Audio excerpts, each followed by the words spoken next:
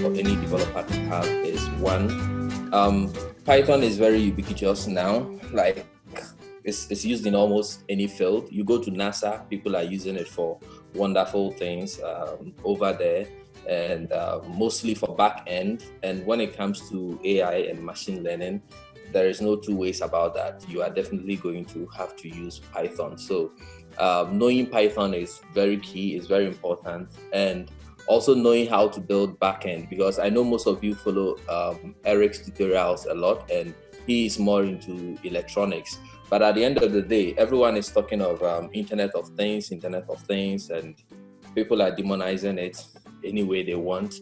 But the truth is, it's going to be the future where we're going to have lots of machines talking together, lots of devices talking together.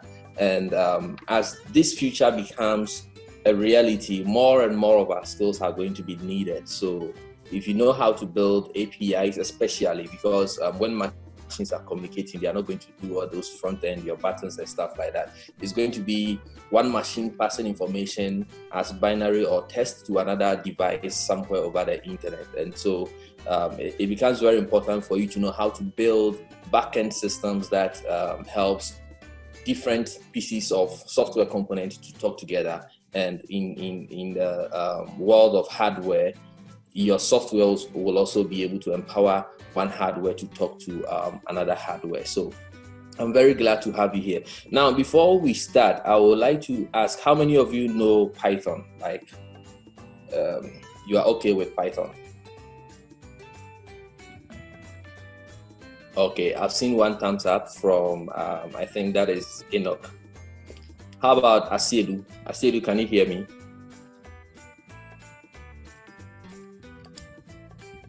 Okay, so Rhoda also says um, she knows Python.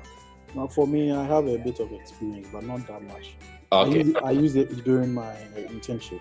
That's why okay. I'm not really advanced. Okay.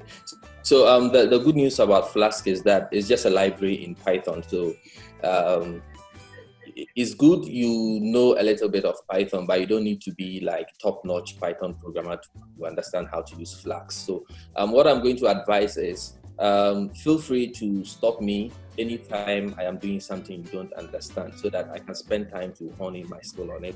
Um, this is a five day event, so I'll have a lot of time. It's actually 10 hours, so I have a lot of time to explain things to you. The most important thing here is for you to understand what is taught instead of taking notes. So um, I, I don't expect you to be taking notes, but when I'm writing code, you should also try to replicate the code on your computer so that if you get an error, you can ask me a question about why you having an error, and then I can explain to you.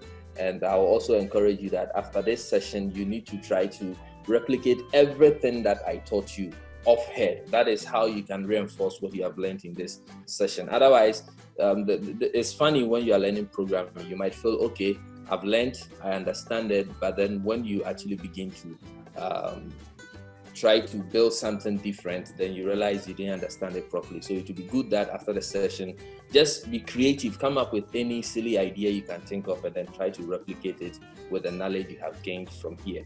So um, one last thing before we actually start coding is um, for you to be able to build backends, you need to be able to know how to talk to databases. You need to be able to um, know how to set JSON. You need to be able to know how to intercept HTTP requests and handle them.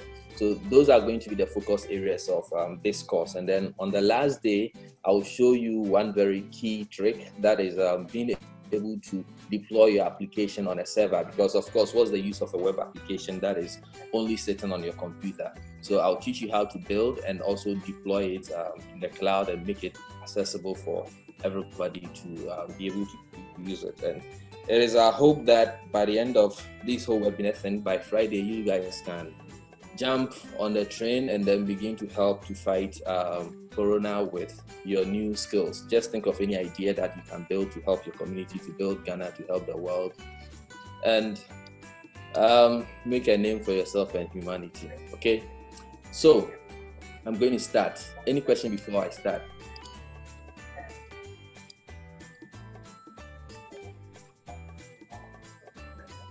Yeah, um, I have a question. Okay. Um, why did why did you decide to, or why do you have to use Python to build a backend? why not um, Node.js or any other? Okay, Um, that, that's a very good question. Um, the truth is, when it comes to building software, I in particular do not like to um, indulge in technology wars like, hey, this language is better than this, this language is better than this. It's about using the tool that you know to build um, a solution out there. So for me, it doesn't matter. I don't have um, one selling point as to why I would choose um, um, Python over Node.js, except the fact that I have used Python for long. It is uh, ubiquitous. It is it is versatile. You can use it everywhere, and it works very nicely. The language is very elegant. So when you write Python, I mean, people who are not programmers will be able to make sense of your program because it looks so much like English as as opposed to um, what you will find in um, other languages. But like I said, I don't engage in language wars because uh, they said if the only tool you have is a hammer, then any problem begin to look to you as a nail. That is why it's also good to know a lot of technologies. Yeah, because um, many projects have failed because people um, spent a lot of time engaging in technology wars. I have worked on projects where in like three months they have not been able to decide on what technology to go with because people are doing oh and C is faster. it's faster, it's faster. You get it? Is the person asking a question? I don't think so. Okay. So, I mean, it, it, it is just about um, the niceness of the language and how mature it is. It has a, lot, a lot of libraries that you can use to um, um, build anything that you want. And by the way, um, if if you go with Node.js, even for creating just the project, you know how many dependencies you are bringing into your project. That's just it. I'm not. I understand. Yeah, I understand because I remember. I remember. Um, I tried building um, a back end for um, should I say an IoT that I was trying to develop, and I, I always use Node.js to see how easy it would be, and I, and I realized that it was quite a task. So yeah, yeah. I mean, just for creating an empty project, you are bringing over hundreds of dependencies into your project. So yeah, yeah. plus um, JavaScript itself being single threaded. So if you have to um, do anything concurrently, then you have to do a lot of dirty tricks in there. So these used to be kind of advantage. But I like Python because of the elegance and how mature it is, the availability of libraries and availability of, of, of them. Yeah. So Eric, I'm trying to share my screen, but I'm not able to.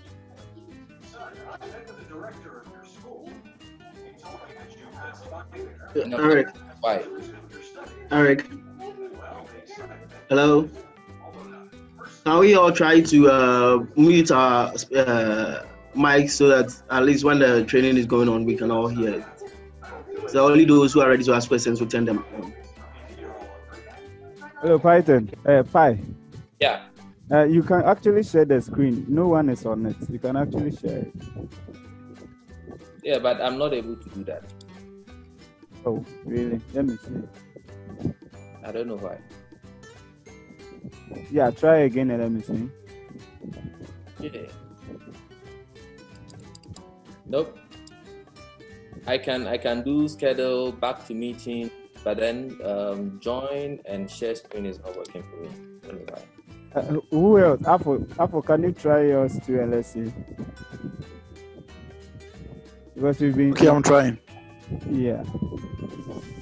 Yeah, so that's App- Apple's.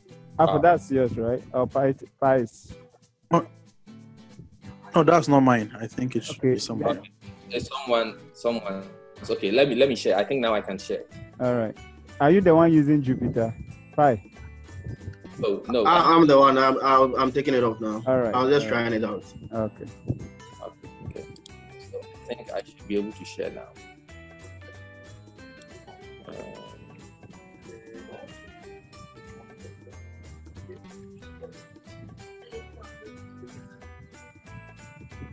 Okay, so Um, no, yeah.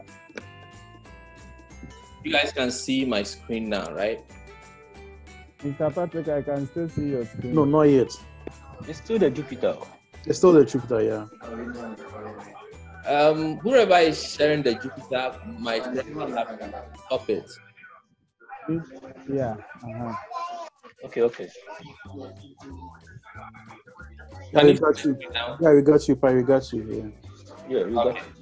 Okay, all right. So, um, I, I have prepared some simple notes on my iPad. Going to guide you through um, what I'm going to do. Like I said, the focus is to teach you how to build web applications and web APIs. So, I want this to be very hands-on. So, we're going to start from the word go. And um, if you don't understand anything, like I said, prompt me. Feel free to stop me in the middle of whatever I'm doing, and then um, let me be able to assist you. So, Can, can I, you all can I see? ask Um, okay, ask. Yeah, you mentioned teaching development of the backend using Python and then the deployment. When does the Flask come in? Okay, so Flask is basically a micro framework in Python. So think of it as a library. Okay, you you Python is a language you are using to build the web application, but Flask is a framework, and a framework is basically um, a piece of code that has already been written by people that provides you the skeleton that you need to add your own um, um, logic to. You understand? So think of it as you know when people are building um, tall buildings, you know they have these things they call. Uh, who who can help me here? They use these frames, like they, they have some frames that they use. It helps them to climb up and then fix things. The, the scaffolds or something. Exactly, the scaffolds. Yeah. So um, a library is like a scaffold. It is not a application. It helps you to build your own application. Do you get it now?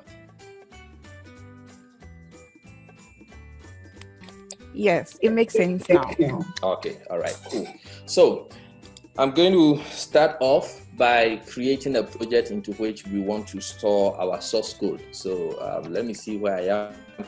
Is my is my terminal legible enough? Is the font size big enough for you to see?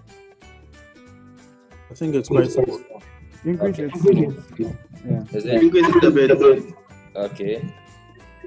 Is it bigger now? Yeah, it's okay. I think it's better now. Okay, all right, great. So, so um, I'm going to I'm going to create a folder. Let me go to my desktop and place a folder there. So I'm going to create a folder. Um, I'm going to call it Flask Webinar or something. Yeah. So this you can do on any operating system. I just use the terminal. You can right click and then do your, your whichever style you want. Now, the first thing you need to keep in mind is whenever you are working with Python, never, ever, ever, ever, ever create a project and install dependencies in your global Python installation. Okay, when I talk of global Python installation, that is the default Python you have on your computer. There is a solution called virtual environment that helps you to have isolated Python instances for every project that you work on let me try to help you uh, make sense of it. For for example, think of yourself working on two different projects, and uh, one project depends on let's say Python's MySQL library, okay, and another project also depends on MySQL library. But for some specific reasons, project A depends on the library version 1.2, and project B depends on the library version 2.4 if you use your global Python installation, it becomes impossible for you to run both projects using the Python that you have installed on your computer. Because the moment you install 1.2, then 1.2 is what's available. When you upgrade it to 2.4, you overwrite what is in 1.2, and so project A will begin to fail. Okay, so a virtual environment gives you an isolated Python instance. So feel free to always create virtual environment per project that you work on. And the way to create a virtual environment in Python um, with Python 3 is you say Python. I mean, you can always check which version of Python you have by saying which Python. And this, this is going to tell me where my Python is going to come from. I have I happen to have a, um, Anaconda installed, which is also a Python installation. Don't don't worry about that. As long as you have Python installed, you should be fine. Okay. So um, I'm going to say and you can also do Python 3 since I am on um, a Mac computer.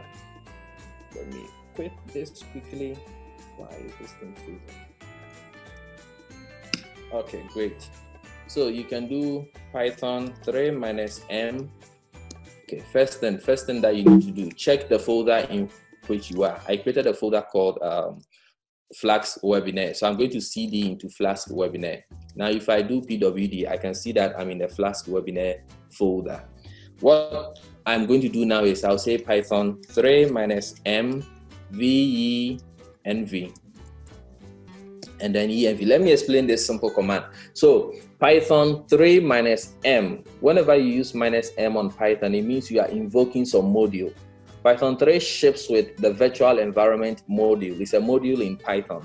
So if you say Python 3 minus m venv, which is virtual environment, you are invoking the Python virtual environment to create a new instance of Python for you.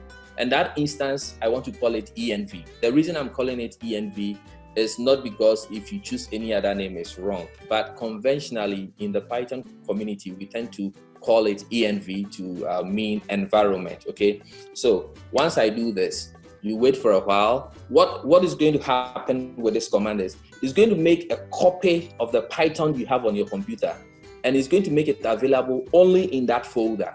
So now I'm going to open the folder, and then you see what happened in there. So I'm going to open that folder. You see that I created a folder called Flask Webinar over here. And inside it now, we have an env folder because I called my virtual environment env. When you go into env, you can see bin, include, lib. This is everything that the global Python installation on your computer has. It has been copied into the project. So now, how do we make use of our virtual environment? The way we make use of it is to source it so that now when you type Python, it is the virtual environment that is going to be active, not your global Python installation. Again, if you have any question, just feel free to um, ask me. So to source it, you say source. Can I, can I ask a question? Yeah. So this, this with Mac and then using it from the terminal. So if I'm using Anaconda on Windows, mm-hmm. how relevant is this to the Anaconda on Windows? Yeah, so um, Anaconda also solves what virtual environment does. You know, you can create a new environment with Anaconda, right? And it's the, it's the same idea. They don't want you to have um, all your global, your dependencies installed in your global Python. So with Anaconda, you can do conda create and you give it a name and then you even specify the version of Python that you want to use. So Anaconda actually takes this, this process um, a step even further. So now I am using Python 3 I also have Anaconda, by the way. I am using Python 3, so I can only create a virtual environment for Python 3. But with Anaconda, I can be in Python 2 and create a virtual environment for Python 3.7 because it is connected online and it will download everything and set it up for you. I hope I answered your question.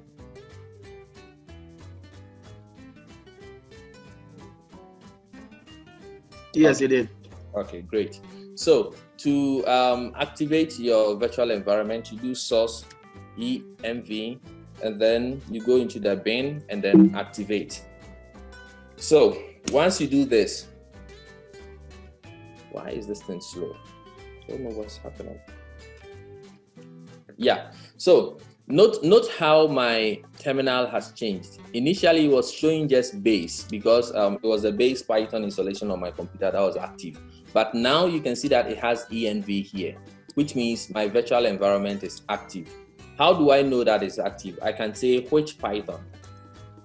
What this means is that which Python will be invoked when I, I invoke the Python term, um, um, interpreter. You can see that it is invoking the Python in the Flask webinar folder, the new virtual environment that we created, okay? So now we have our virtual environment created. And the focus of this video is to teach you how to build applications using Flask. And you know that Python on its own doesn't ship with Flask. So how do you get Flask on your computer so that you can start developing with it? It's as simple as saying pip3 install Flask. Pip is um, the dependency manager that ships with Python. It helps you to download the dependencies off the internet. Like I said, when you are building any um, non-trivial application, you definitely will have to depend on third-party packages or libraries. So pip ships with Python. Once you have Python installed on your computer, you have pip also installed. And pip allows you to download and install dependencies. So once I do pip 3 install Flask, it is going to go onto the internet, it's going to go to the Python's um, dependency repository, and it's going to fetch Flask and it will bring it onto um, our virtual environment. So I'm going to hit enter. And at this point, you definitely need um, internet connection. Okay, great. So it, it has finished installing um, Flask. Then let's go ahead and then begin to write code in Flask. I'm going to open the folder once more. Whatever is keeping this thing slow is not funny. Yeah. So I have I have the folder Flask webinar open here. One more thing I'm going to do is to um, open it in Visual Studio Code so that we can begin to write our code in there. So once Visual Studio Code shows up, let me know if um, the font is also too small for you. Um, excuse me. Yeah. Um, could you go back to how to activate the Okay. um, virtual Okay. environment once again? Okay, I'll definitely do that. So this is how I activated it. You say source and then the name of the virtual environment. We called it env. So source env slash bin slash activate. Sorry.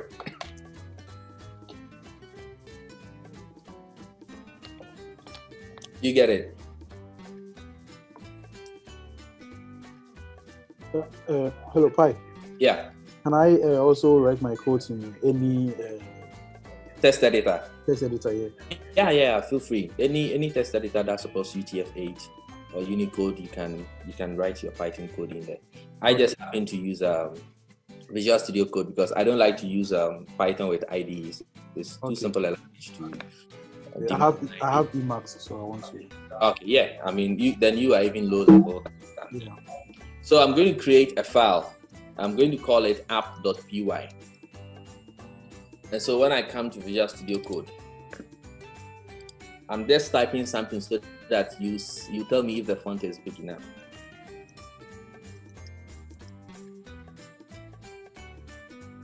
Can you see it or I need to increase font size?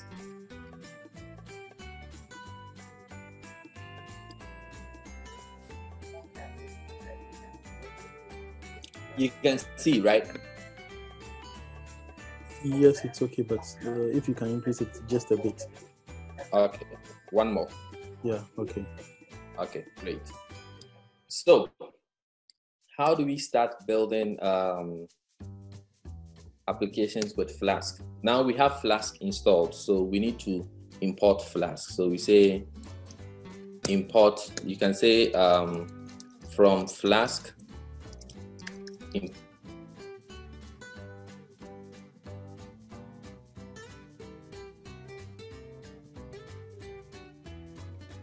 Flask. From Flask means we are importing the Flask dependency that we installed. Okay. And this Flask with a capital F is the class that we are interested in. For, for um, those of you who already are familiar with Python, we are importing the Flask class from the Flask library. Okay. Now, conventionally, you start off by saying app is equal to Flask and then you put in underscore underscore name. Now, what what what happens here? Let me let me try to um, help you understand how Flask is working with a web server. So when you finish building your application, you are going to deploy it onto a web server. Even before you finish building it and deploying it, Flask comes with um, a development web server, which we will start very soon to be able to try our application in the browser and see how things work. And um, the default development server that comes with Flask is called Werkzeuge. So Werkzeuge is um, a German word that is um, that means work tools. I happen to be in Germany now, so I can speak some small German. So this is Werkzeuge. Yeah. So this is um, a German word that means work tools. So it's the name of the server that ships with Flask as well. Now, when you create this Flask object, It is what the Flask, um, your web server is going to use to pass the request into your application. So your web server is a computer sitting somewhere on the on the internet or even during development your own machine. Now when someone goes to your browser and types in the URL of the web application you are building, it first of all hits the server and then the server is going to capture all the relevant information about the request and then it will make it available to you through this application instance that you have created. Okay. Now, in um, web development, what happens is, unlike desktop applications where it is more event driven, like you place a button and then you register uh, an on click listener so that when they click, something happens. In web development, the way things work is you match requests to URLs. So, for example, if you want to go to Facebook right now, you go to www.facebook.com. Okay. Once it goes there, in Facebook source code, there is a function that handles that request. If you go to your profile page, there is another function in their source code that handles fetching everything related to your, your profile and showing it on the page. So for you to do a similar thing, you use the app to register what is known as route. So a route is just a mapping between a function and a URL. This thing, this whole thing is going to make sense to you in five minutes. So bear with me. Now I come here and then I say at app dot route. Then I'll say def index. Then I'll say return. This is my site. Okay. Now, once we have this code, what is happening is we are telling the Flask um, web server that whenever a request comes to the root of our website, let this function be called the function we I, called it index because usually the root of every website is known as the index of the website, the, the index page, the home page that you hate. Okay. So on our home page, we just want to show this is my site. Basically, that is that is all we want to do. Then when you finish, what you want to do now to be able to run this application, there are two approaches. So I'm going to show you um, all the two approaches and then um, you decide which one works best for you. So with this code written, I'm going to go back to the terminal. And I will, first of all, you have to tell um, Flask which file it should run, okay? So to do that, you say you need to export Flask app. It's equal to app.py. So what I'm telling Flask is that whenever I call Flask to run, I want you to run the, the application in app.py. If you're on Windows, you will not do export. Instead, you do set. Thanks to Bill Gates and his children, they always want to be radicals. So everybody says export, they say set. Okay. So because I am on a Macintosh, and anybody who is on a Unix system just do a export. So you say a export Flask app is equal to app.py. The app.py, don't forget, is the name of the file that we we have written our code in. Okay. So once you export this environment variable, now you can say flask run. Let's see what happens. So Flask has started a web server. So you can see that it's saying 7 Flask app, app.py. How did he know that it is 7 app.py? Because you exported this environment variable, Flask app, and you gave it app.py. And it says environment, production, warning. This is a development server. Do not use it in a production deployment. The reason why they give you this warning is not because your code is wrong, but like I told you, the server that comes with Flask by default is just um, a test server. It's for development only, so it is not safe. It is not secure. If you use this to run your application in production, hackers can hack your application. As time goes on, I'll show you. Whenever your application throws an error, this server will actually give a Python interface in your in the web browser. So imagine I come to your website and there's a mistake in your source code, and instead of just telling me, oh, there is a mistake, your browser actually renders a terminal within which I can type Python. Your life is finished. Because like I have full control over your server and I can do whatever I want to do. That is why they warn you. So for development purposes, it is okay to use Werkzeuge. But for deployment, you definitely have to go with Gunicorn. And when the time comes, I'll show you how to deploy with JUnit. So, so it is telling you running on HTTP 127.0.0. So it is telling you how you can access your application. So I'm going to open um, a browser now, and then I hope my browser is also big enough, and I'm going to go to http colon um, localhost because localhost is the same as 127.0.0.1. Can you see the browser now?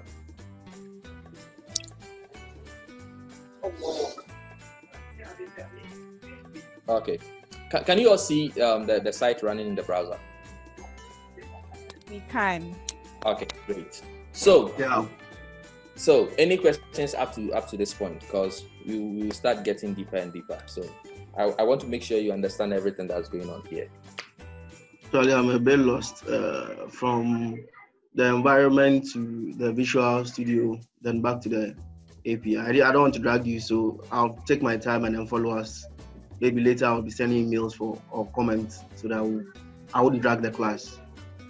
Okay, but um, at least the code here you should understand, even if you don't Yes. uh, understand how you created the how we created the environment, how we activated it. At least the code you should understand. So, do you have any? Yes, I do that. Yeah.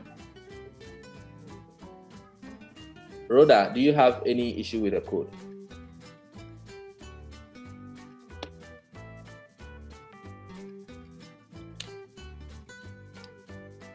Is Rhoda there or she's not? And also after after we do the Flask run, Mhm. yeah, I think I'm getting this is a development server. Do do not use it in the production. After that step, what else do we do? Yeah, so um, you can see that it is telling you running on HTTP colon slash slash one two seven dot zero dot one. So it is telling you what you need to put in your browser to be able to see your application. So you can just copy that HTTP colon slash slash one two seven dot zero dot zero dot one port five thousand. So by default, Flask runs on port five thousand. Like when you go to Facebook, for instance, you just type facebook.com because Facebook is running on port 80. And Okay. for 80, you don't need to specify it in the browser. But for any other port, you need to specify. So it is running in port, uh, it's running on port 5000. That is why in my browser, I typed localhost colon 5000 and I said localhost is the same as 127.0.0.1. Okay. Right. Yo, Python, uh, Py. What Yeah. Yeah. So the the the one who has the issue with the, I think the one who spoke before Apple. I think address it so so that it doesn't become a loophole in his background. Else, following up to is going to be a problem. Okay, that's fine. That's fine. So I'm going to I'm going to explain everything again. So I started off by saying um, it is not good for you to install dependencies into your global Python installation. And by the way, Rhoda, I'm not hearing from you. I hope you are you are still listening and following. So um, it is not good for you to install dependencies into your global Python installation. And I gave the reason why. I set an example that let's say you have two projects, project A and project B. They both depend on, let's say, the MySQL Python library, okay? But project A, for some reason, requires version 1.2. Project B, for some reason, requires version 2.4. Now, if you just went ahead and you installed 1.2 in your global Python installation, what will happen is that project B will not run because it requires 2.4. In a similar vein, if because you want to run project B, you just go ahead and install version 2.4, project A will not run because it specifically demands that you have 1.2 installed. So the way Python solves this issue is through something called a virtual environment. And the way to create a virtual environment is to, so I'm going to stop the server. By the way, if you want to stop the server, just press Control C in your terminal. So the way to create um, a virtual environment is to say Python minus mvenv. So the Python minus mvenv is what will invoke the virtual environment module in Python. So what I need you to understand is every Python installation from I think 3.0 coming by default ships with the virtual environment module. So once you say Python 3 minus mvenv, you are invoking the virtual environment module and you want it to create a new Python setup for you. You give it any name and we gave it a name env. So what happens is once I press enter, which I'm not going to do because I already have um, a virtual environment created, what happens is In the project folder, you will see that there's another folder named env, and inside it is everything that makes Python Python. Okay? Then for you to be able to use that, you need to activate it. Now look at my terminal. It is showing env because I have activated it. I'm going to deactivate and I will activate it again. To deactivate, you just say deactivate. Now look at something. I have deactivated it. Then I'll say which Python. Which is a command, is a Unix command. I'm sorry, I don't know um, the version on Windows. Which Python, and look at what it's telling me. Without my virtual environment, if I invoke Python right now, it is going to invoke my global Python installation that comes from Anaconda 3. So you can see the path. It is telling you where it is going to get its Python interpreter from. But let me activate it and then you see. So I'll say source env bin activate. Now see that my terminal has changed and it's showing env. I'm going to execute the which Python command again. And then see that now the Python is going to be invoked from Flask webinar, the folder in which we are doing this uh, webinar project. And it's going to use the virtual environment that sits in there. So it's basically, you are creating a new Python setup specifically for the project you are working on. Is it clear now? Um, hello. Yeah. Um, actually, the way you you, you activated the virtual environment, I think it's for Mac OS. For Windows, it doesn't work. It actually shows an error that source is not an internal command and all that. Let me let me chip in. On Windows, you do uh, slash env slash scripts, okay, and you don't do source. You don't do source.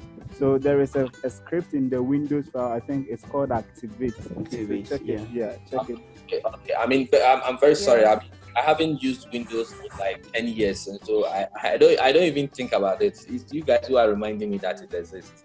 Yeah, you- you're actually suffering with Windows here. I see. Um, um, Yeah, uh, what Prof said is working. It works that way. okay, so Eric, maybe you can share the command in the. Yeah, actually, so that you tried that and it's working as well. Nice, nice. So Eric, just share the command with them. Okay, okay.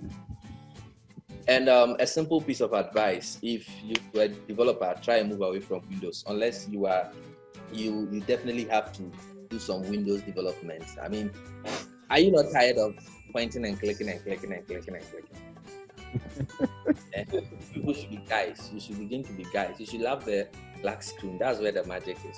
It's because you people use Windows. That's why Corona is is killing people. So it's- move to the terminal and let people live. Okay, so I hope now everything makes sense. Okay, so I'm going to go back to the source code and I'll explain it once more. So I said you start off by importing Flask for Flask. Um, Eric, Yeah. Yeah.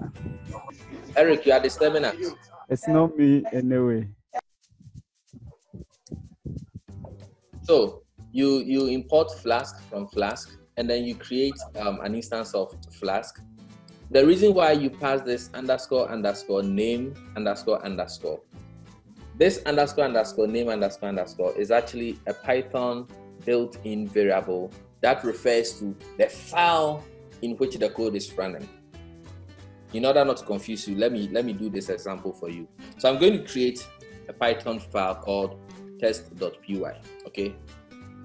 Then inside test.py, I'm just going to print underscore underscore name underscore underscore. It's not magic, it's, it's something in Python. So the underscore underscore name underscore underscore variable refers to the name of the Python file you are running. So let's go ahead and execute this code and you see what it will print. So I'll say python test.py. You see, it is it is um, giving me underscore underscore main underscore underscore because I executed it from the the um, terminal. Whenever you do Python, it treats it as a main function. So over here, what what is happening is inside this code, what is happening is you are creating a Flask application instance, and you are telling it the root of your project. And because this underscore underscore name underscore underscore is going to resolve to app.py, it comes in handy when you begin to add images and trying to access CSS and JavaScript in your project. The Flask web server needs to know how to traverse your path where the CSS file is. For now, um, it might sound like magic, but when we start adding installing and stuff which you understand. So take it at, as it is for now, and then if you have any question about it, keep it. Once we begin to talk about um, styling and JavaScript and all that, you can ask me, and then I will clarify why it is important. But what I need you to understand is particularly how to define uh, a view function and assign it to a route. Okay, so once you create the app instance, you use this decorator. Whenever you see anything that starts with at in Python, it's called a decorator. So we are decorating this index function. Apart from this decorator, if I remove this code, this is a complete Python function. It's a very simple Python function that is returning this is my site, okay? But for you to use it as a route handler, and a route handler is a function that executes in response to some URL. You just add the route decorator to it. Let's do one more so that you understand. So let's say I'm going to, I want a profile page. What I'm going to do is I'll say app.route slash profile. Then I'll say def show profile. And by the way, the function name, you can choose any function name that you want. So over here, I'll say return your sweet profile. Okay, now I'm going to run the Flask application once more by saying Flask run. And then I'll go to the server so this is hitting the index, but look at the URL we used for the profile. We said slash profile. So if I come here, I'm going to do slash profile in the browser and see that it changes to show your sweet profile. Do you understand it now?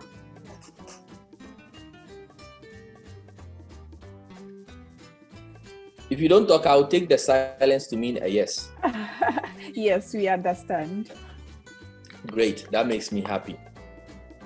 So there is this guy in his room with a fan, and then he's um, behind his curtains. Can, do you understand me? The way the way the fan is blowing you, do you understand me? Yeah, I understand. But you can't be wasting electricity and say you don't understand. Otherwise, I, I understand. yeah, that somebody is wasting electricity this evening. Great. Okay, so up to this point, we know how to define our route and then we know how to start the Flask web server. There's one more thing we can do to flat, um, to start the web server without necessarily having to do. So I'm going to quit the server. You remember we had to do um, export Flask app is equal to app.py. Okay.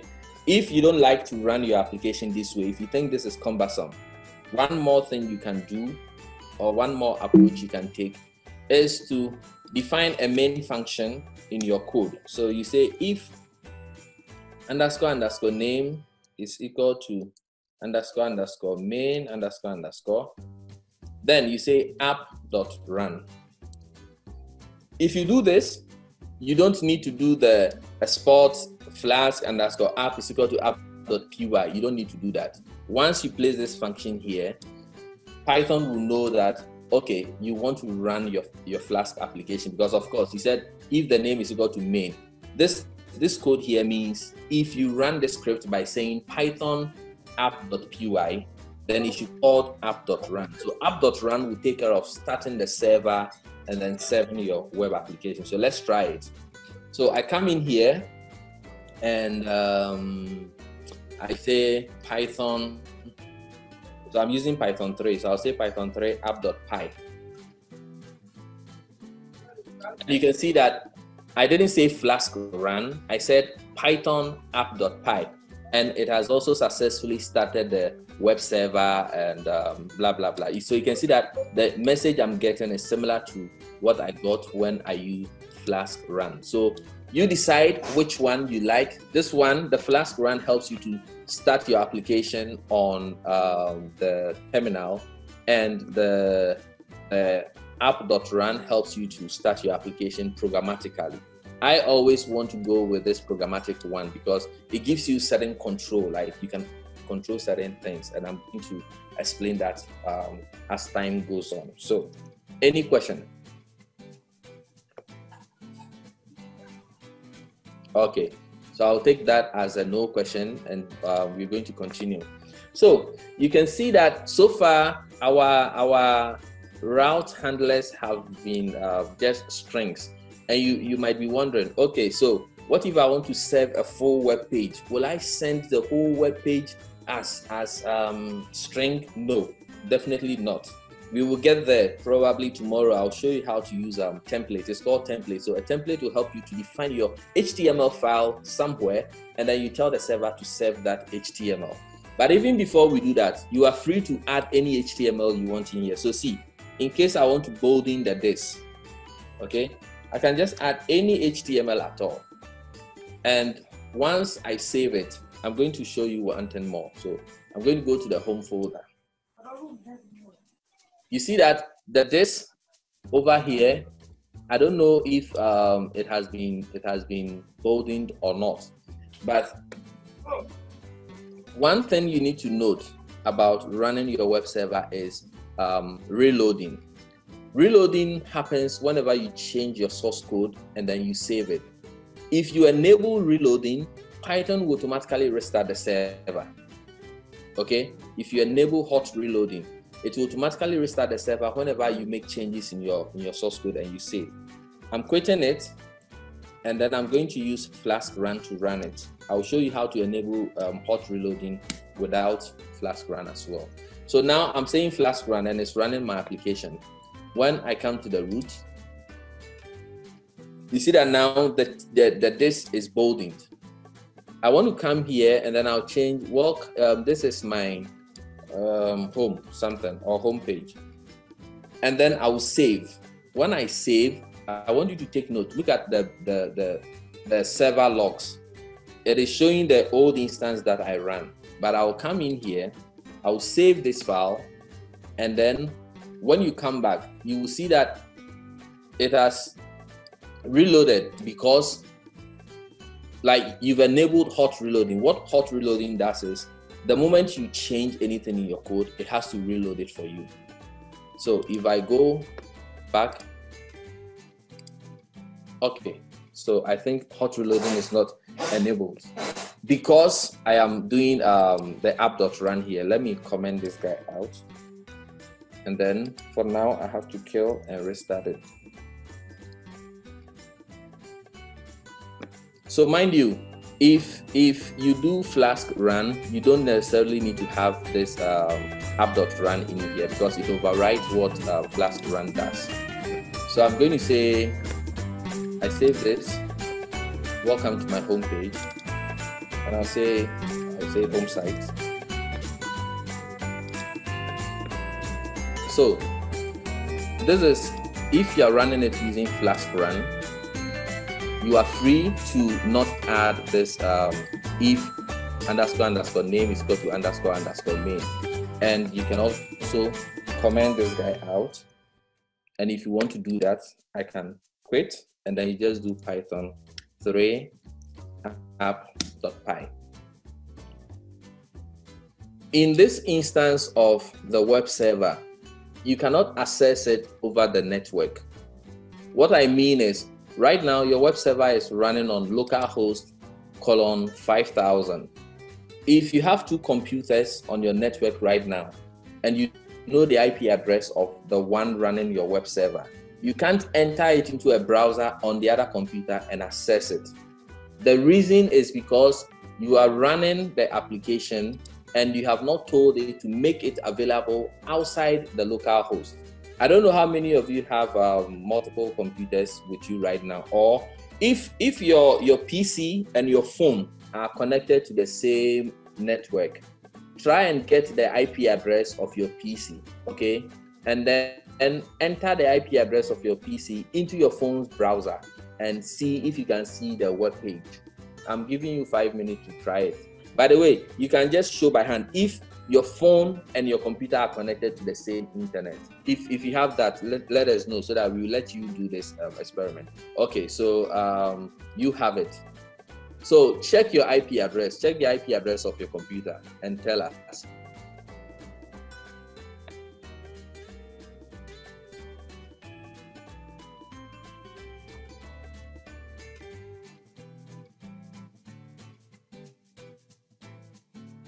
I hope the rest of you are following.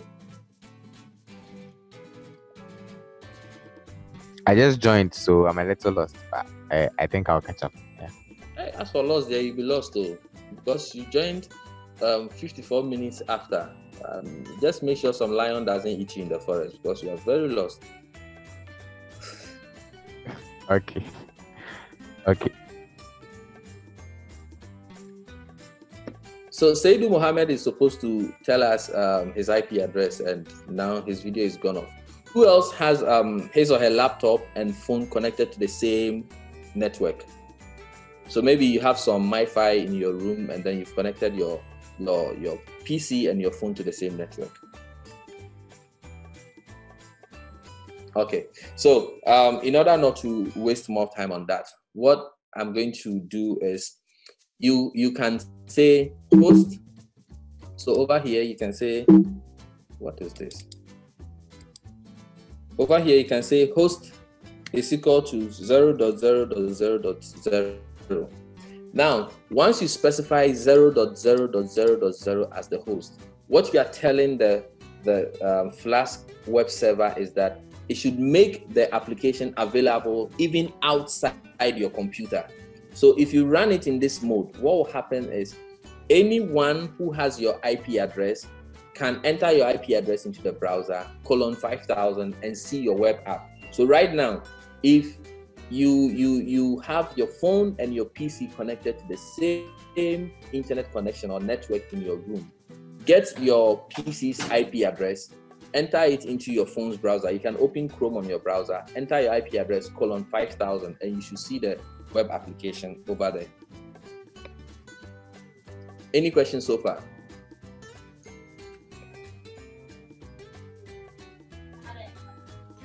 Uh, question. Yeah. Uh, should the two devices be on the same network? Yeah, they have to be on the same network. So one cannot be connected to MTN and the other connected to Vodafone. And if, if they are both connected to MTN, like the global MTN, it won't work. It should be a network in your room. So maybe you have Wi-Fi, you have router. The, the, the phone and the desktop are connected to that same router. That is when this setting is going to work. But of course, if you finish and you deploy the application into um, the cloud, you need to add host is equal to 0.0.0.0 before it will be available to the whole world. Otherwise, nobody can be able to see application.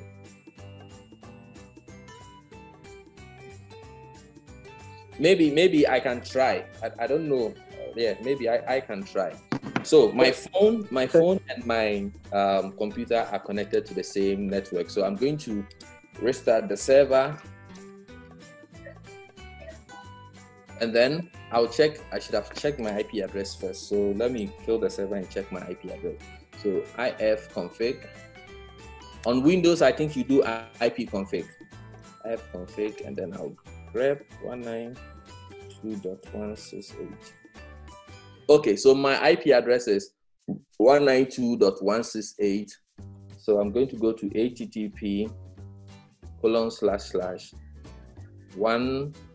192.168.178.255 colon 5000. So I don't know if you can see on my on my phone, but I am not able to access my web application because I have not run the server yet. And then I'll run the server now.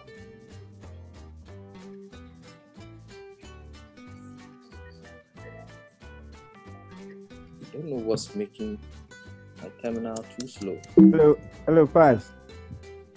Yeah, Can you show the screen again? Can you show your phone screen again? I want to capture it. yeah. Can, can you see? Uh, yeah. It's buffering. Okay. It should come closer, a bit closer to the The, camera. to the camera.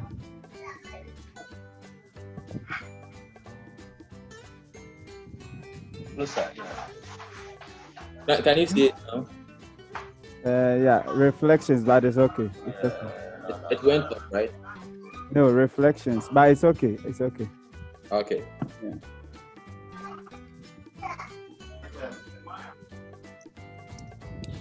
So I'm going to run the server.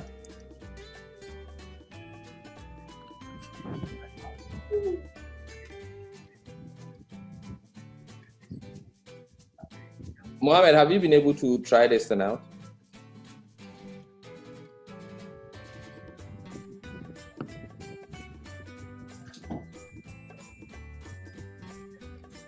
Yeah, hello.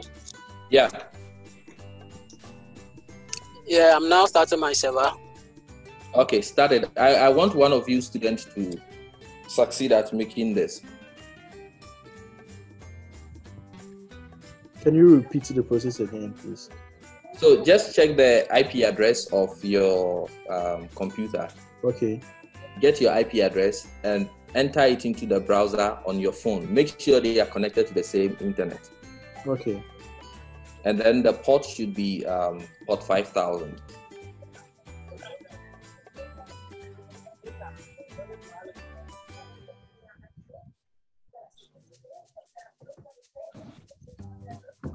Don't know, let me, maybe on my iPad it will even open much better.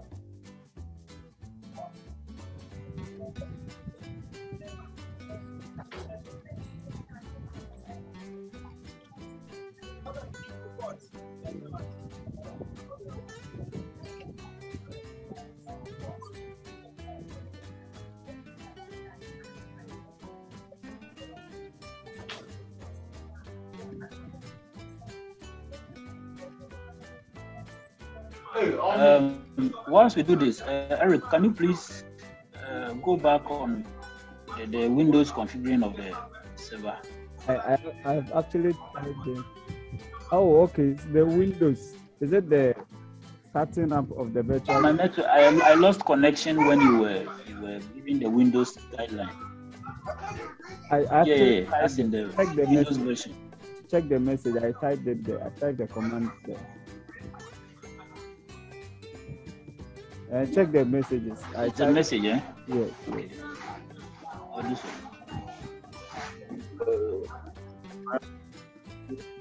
One six eight dot one seven eight dot one zero nine one five thousand. I'm going to zoom in on my phone because it's showing very tiny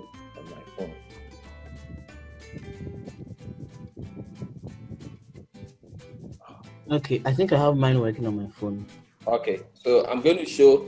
I don't know if you can see, but you can see the, the web page on my iPad, right? Yes, I can Yes. see. Yeah. So what what what happens is if, if you run the app and you specify the host to be 0.0.0.0, then you are telling the web server that you want people to be able to access the web application outside your computer. So when when this thing will be useful is let's say you are building a um, voting software, which I know a lot of Kenya University people like to use for their final year project. So in case you are building a voting software and they are using it for um, the- uh, departmental voting, you don't need to host it in the cloud. The reason is once you host it in the cloud, you give people an opportunity to try to hack it and then change figures in your database and all that. So for that purpose, you just go to that department, you run your server on host 0.0.0. The 0.0.0 in networking simply means make it available publicly. Okay, so once you, you run it in that mode, then you find your IP address and then you enter it on another computer's browser colon 5000, which is where you are running your application, and that should be able to um, let let people access it on their computer. So now you can be in your room. Maybe you are building some Arduino project and then um, you have used Flask for the backend. You want to demonstrate it on your phone. Easy peasy. You run it on 0.0.0. You open the um, page on your browser in, on your phone and you, you can showcase it. Okay. Should we take some five minutes break so that those of you who have not been able to get things running can try to get it run and then Um, after five minutes, we come back to continue. So within this five minutes, prepare your questions. If you have any challenge, if you want to try what we've tried so far, try it. Prepare your questions, and then it is nine. Um, it is nine three at my end. Sure, agreed. So in five minutes time, I'll, I'll be back. Okay. Thank you. So don't leave. You just just you can turn off your camera if you want to, turn off your microphone, and then in five minutes time we'll all be back here. Great. It's seven. Yes. Okay.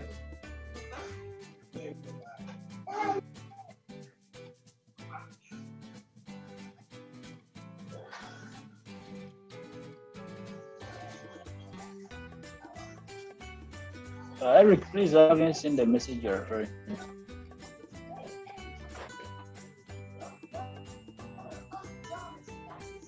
Are you there?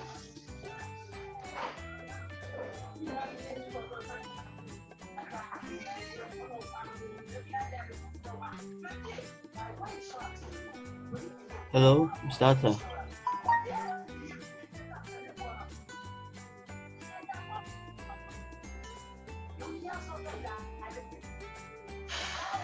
Hello, Ata.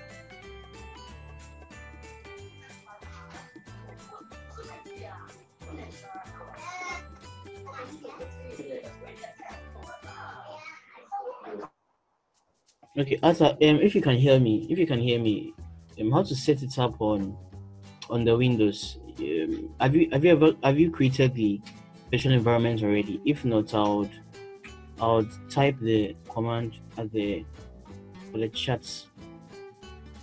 Just a moment.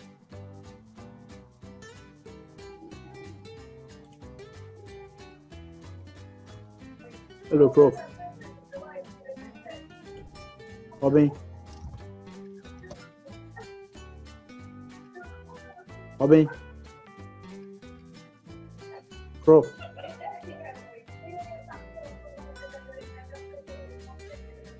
Hello, Robin. Yeah, Afro. Oh, yeah, can you can you uh, give me the steps to check the stuff on my phone as he was explaining? I think I really. Uh, do you have do you have your do you uh, have you configured the server to run on zero zero zero? the one the course that we just did. Yes. Uh, where have you gotten to? Is your server up and running at zero point zero point zero point zero? Yes, let me let me show you my screen. If it's necessary.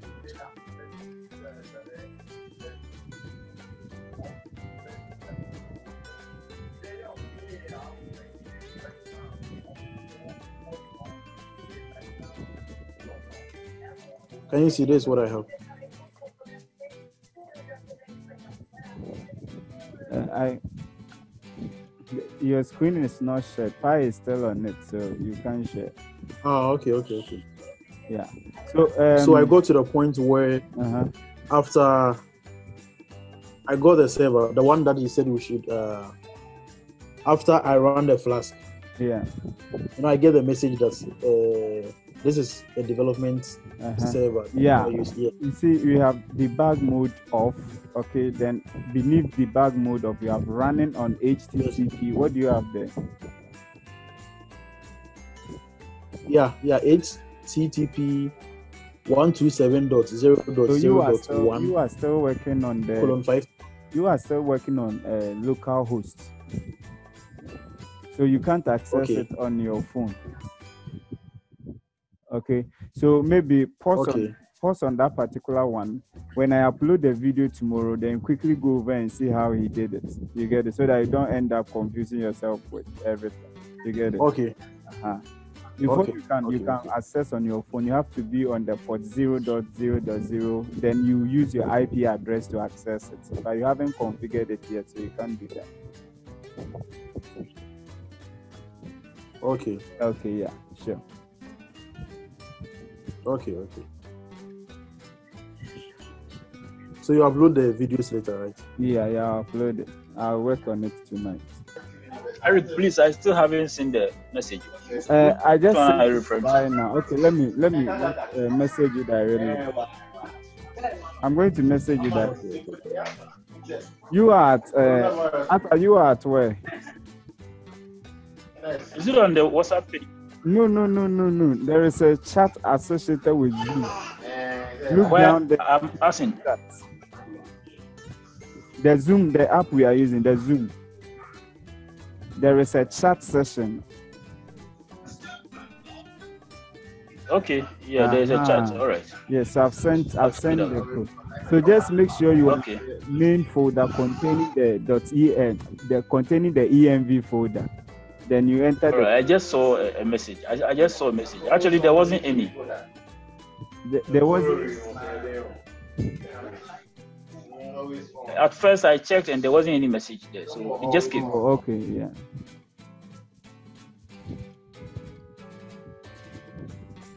Please, anyone who needs help with anything.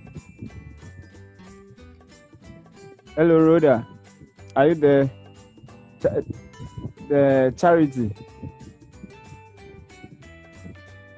Yeah, uh, I'm still I'm still struggling with the. I'm still struggling with creating the. creating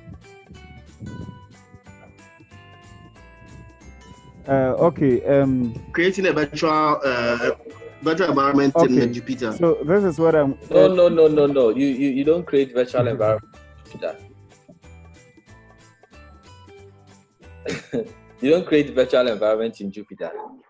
But um, you maybe don't worry. Um, in this next section, I will finish the, this section earlier so that I can do a recap of the top stories to to help those who didn't join earlier. yeah then uh Pie uh, Pie Okay, all right. hello Pie Yeah. So maybe if you do something Yeah. that is mac specific i can replicate it in windows for those who are using windows okay Yeah, yeah, great. And maybe before you upload your version of the video, you can um, interleave it with the Windows specific way of doing things so Yeah, that those yeah. who are using Windows uh, will do that right. okay cool I hope that the Spirit of the Lord will touch most of you to leave Windows as early as possible. I think it's about the monies we have. See, most of us we are not that rich. As, as long as you have a laptop, it's just about deciding. even windows is expensive You, you don't need to be rich to get Mac. Transition transition is, is, is very is very tiring. Oh, I mean, when you install Ubuntu, it takes like 30 minutes for you to finish, and maybe three days to get all the drivers. So, but the, the, the thing is, using Ubuntu itself um, is, is it's just. It- it's juicy it's juicy So, uh, it's, it's just it's just it's uh, just laziness. It's just laziness. Take, take it serious, cause like um, if if you move outside Ghana, you won't do a lot with Windows. Trust. Even in Uh, Ghana, right. most companies. do a lot yeah but maybe one thing that you can also do is one thing you can also do is as from for, for me i'm not i'm even using the ubuntu app okay so if you think installing the whole ubuntu is another problem just activate the windows subsystem for linux and install the ubuntu app then you can start gradually okay that's what i am using at the moment so Okay, okay. Yeah, but Okay. be careful if, if you are doing that. Otherwise, you might end up wiping your Windows and you cry. So maybe Eric, you you want to do a tutorial on that for, on that for the sake so of i will do a very sharp one quick one for them not somebody wipes it um, entire Windows. which is definitely possible Okay, so yeah, but that's the best way to learn. Like you wipe your, your computer, you don't have any operating. do you remember i wiped your hard drive I know what haven't you done. Yeah, so um, we are going to continue. Did, did any of you write any questions that you want us to address before moving on?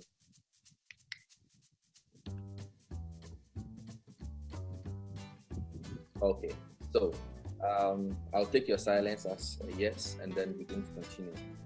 So we have so far seen um, how to bootstrap a virtual environment, how to activate it, how to install Flask, how how to um, import Flask, and how to create a simple Flask application up to this point.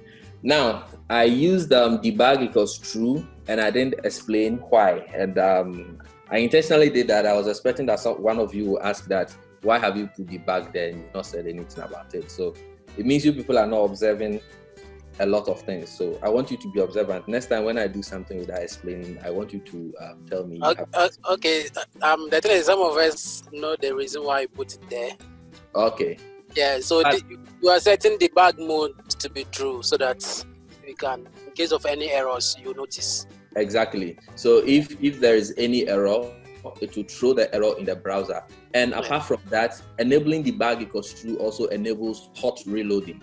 And hot reloading is what will make it possible for you to just press, you save your file and you don't need to restart the server. Okay. So, um, for example, now it is running and you see that it's saying detected change in um, app.py reloading. It only became possible because I said the debug is equal to true. And once you set the debug is equal to true, it enables the debug mode, like you rightfully said. And what that one does is if there is any error in your application, it's going to throw an error in the browser. But never, ever, ever, ever, ever use your web server in production with debug mode enabled. Because, like I told you, it is going to throw the error in the browser and give you access to a terminal, a complete Python terminal that targets your server. So if you mistakenly enable debug mode on your production server and something crashes, anybody visiting your site owns your site from that time on. So you don't want to do that. For development purposes, it makes sense because nobody wants to write code, save, go and restart server, and come back to try. So when you are developing, definitely, definitely leave debug mode on. I think um, in tomorrow's session, I'll, I'll show you um, an automated way of switching between debug mode and um, production mode without having to um, deal with all these things. But one thing that um, debug does for you is to help you to turn on the debugger and also to enable hot reloading. So hot reloading basically lets you just save your file and then the server reloads on its own. That that's that's basically what happens. Okay, so one more thing. I am sure you've all noted that by default, um, Python is or Flask is running our application on port 5000. If you want to change the port on which your application runs, it's also very easy. So when you call app.run, you can also pass port. I think because of my font size, my code is getting out of focus. So I'm going to remove this and I'll drop it onto the next line. I'll say host is equal to 0.0.0.0 and I will say debug is equal to true and I'll say port. So port and then you specify a number. So if I want to run this um, on 2020, which happens to be a not so good year, at least for the first three months, you are free to change it. So once you do this and um, you you restart for this for, for this to take effect, if you change the port number, that one you have to manually um, I think restart the server, I guess. Yes. So you can see that now it is running on port 2020 instead of port 5000. So by default, Flask is going to choose port 5000. But when you finish and you are putting your application on, in the wild, in the in the cloud, you don't want to. Um, you, I mean, it's a choice. You don't want to put it on a, um, um, a non-popular port number. And um, the default port for most web servers is port 80. So you are free to put it on port 80 that one um, nobody has to specify a port number. But the point when specifying port numbers become important is when you are running multiple web servers on the same computer then you want to run one server on one port and another on another port. So feel free to choose um, um, any web server web server port of, of your choosing.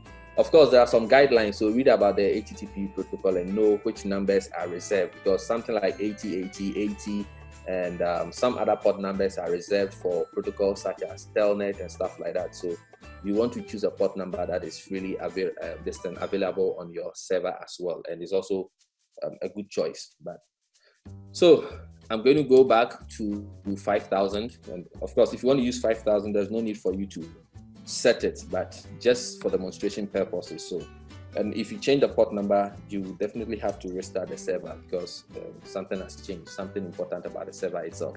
So now I change it to 5000 and you can see that we have um, port 5000 over here. Okay, so up until this point, you can see, okay, we, we, we, we found ways of registering routes and um, we are returning our response as strings. These are all baby stuff, but understanding these are very important so that we can move on to more interesting things. I'm going to show you how to perform a redirect. Okay, so let's say um, you, you want to create a page just to redirect to another page. Who can tell me why it might even be necessary for you to do that? Why, why would you want to create a page? Let's say, uh, let's say Saidu Mohammed, you've got a domain called saidumohammed.com.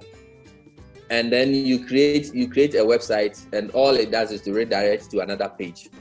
What scenarios comes into mind? Like what do you think will warrant you making that choice? One of them, can I proceed? Yeah, yeah. Okay. One of them is when you are using authentication in your application. Okay. Possibly after registering, you might have to redirect the user to the main page or something Yeah, like that. yeah, that is that is very valid. So especially if you are using OAuth or you are doing um, social logins like signing with Facebook, signing with Google, signing with this. What happens is when you click sign in, you have to redirect them to Google servers or Google to authenticate them and bring you back a token that you can, can use. So that is a very good uh, use case for it. Another use case is maybe you had an older domain, okay, and you've got a newer one, but people are used to the older domain. People know the older domain, and you maybe you are rebranding your company. So your old company was called uh, and now you think um, you want to modernize it by saying mnn.com. So what happens is you just buy the mnn.com domain, you write your code to read to uh, so that people will come to mnm.com, but they will still access menemimaminee.com. Or if you like, you move your new site to mnm.com and you redirect menemimaminee.com to mnm.com. So like, so let's let's do some fake Google web page. So I'll say app and if you're a scammer amongst us, don't use this to scam people. Don't go and create a page that redirect to MTN Momo website and then mimic certain things and take people's numbers. Okay. So I'm going to say um, fake Google. And what is going to happen in here is I want to say go to Google. And like I told you, the function name, feel free to name it any way that makes sense for your application. What happens here is you do redirect and then you put the site that you want to redirect to. So I'll, Google is, of course, on uh, HTTPS, right? So I'll say um, google.com. Okay, so when you save it, just make sure that your code has reloaded and then the route is fake Google. So let's go to the browser and I'll do slash fake Google and let's see what happens. So, um, uh so this is a very good error that we have found. So this is what happens if your application throws an error. You can see that it is telling you type error. The view function did not um, return a valid response. The function either ended. Um, your, your pictures are covering what I see in there, but return none or without any return statement. Who can tell me what is going on here? This is how I teach. And thankfully, this is Python. So I like to make mistakes and then you guys can figure it out. So who can tell me what you think is wrong here? I guess this is the of what What?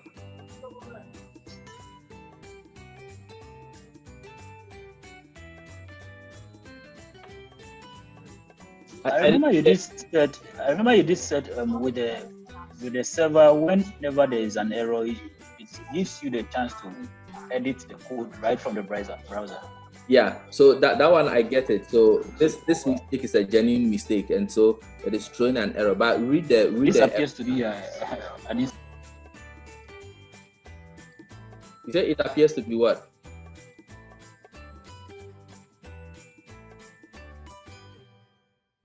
Anyone with an idea? instance. Oh, Okay, so look look at look at all the all the handlers so far and see what is different about this third one, the redirect one. What what is wrong with it?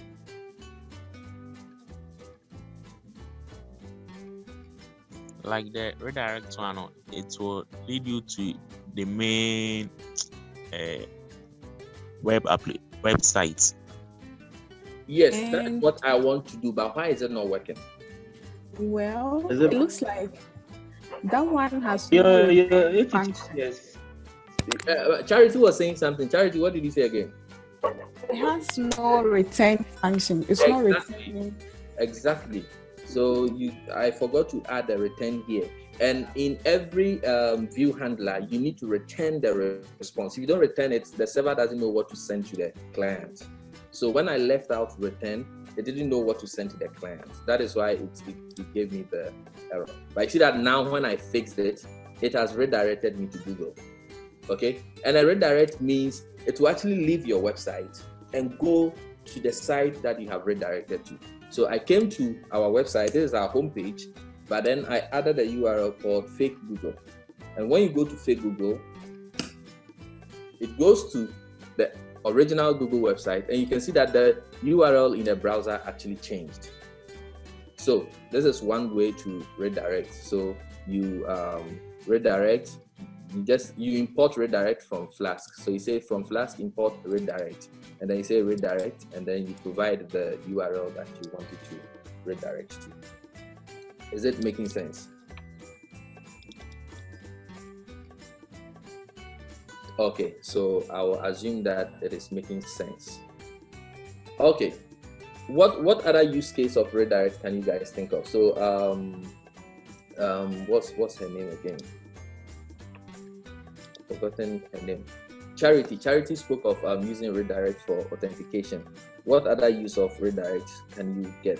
And even in terms of um, authentication, one more thing you can do is, you know, when your site is behind authentication, there is no guarantee that people will always start from the login page. Somebody might want to access his profile page. So you use this redirect, you check. That is a point where you check if the person has not logged in, then you redirect the person back to the home page.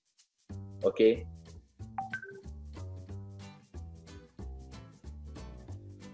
Any questions so far?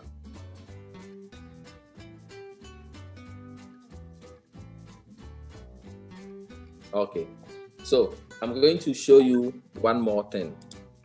Now, for all the route handlers that we have defined, you can see that we did um, app.route, we, we placed the app.route, decorator, and then we created um, a function. But one other thing we can do is like this. We can just define any function we want. So we say def, let's say go to Facebook. Okay. And over here, you will return, I'm going to redirect to Facebook. So https colon slash slash facebook.com. Okay. Now we have we have defined this go to Facebook page, but our server doesn't know about it because we have not registered the route handler. So one way of registering the route handler is either you use the decorator like the app.route and then you specify the, the URL and then the function. So what, what happens is when a request comes to your web server, your web server is going to check the URL that the request hit. And then it will invoke the function that has been registered as a handler for that URL. Okay. But if you define your function this way, like a normal Python function, and you then add the at app.route decorator to it, one way you can make it available is to say app.add URL rule. Okay. Now the add URL rule takes um, three parameters. The first one is the URL that you want people to specify. So I'm going to call this fake Facebook. And then the second is a name that you want to give to your endpoint. By the way, whenever you register um, a route handler with the at app.route decorator, it creates a name for an endpoint. And so the endpoint name becomes by default the name of the function. So the endpoint name for show profile is show profile. For go to Google is go to Google. Now, because we are not using the at app the, decorator on top of go to Facebook, if we want to register it using the add URL rule, then we need to give it a name. So I'm going to call it Facebook. You can also call it go to Facebook. And for now, you don't know what you can use this for, but when we start working with links, you understand how to use it. Then the last one is you specify the function that you want to use, um, you want to be called when that URL is hit. So let's check if um, it has reloaded, and then I will go to uh, our web server, http colon slash slash localhost 5000 slash fake, I think Facebook, I guess. Yeah, so you can see that I, I, I created a go to Facebook route handler and I'm using the redirect to redirect it to Facebook. But I did it without specifying the at um, at app.route decorator on top of it. And so the manual way to register this function as the request handler is to call app.addURL You specify the URL. This is what you need to enter into your browser to get it invoked. This is a name you are giving to the endpoint, which is useful when you begin to work with links. And then the go to Facebook is the name of the function that you want to call when this URL is hit. So when anybody um, goes to your website and points you to slash face, um, fake Facebook, what happens is your server is going to call go to Facebook, and go to Facebook is going to return a redirect to Facebook.com. So, any questions so far? I, I, I, want questions so that we can continue because maybe some of you are um, confused and you are silent with it. So, just feel free and ask any question if you understand what's going on.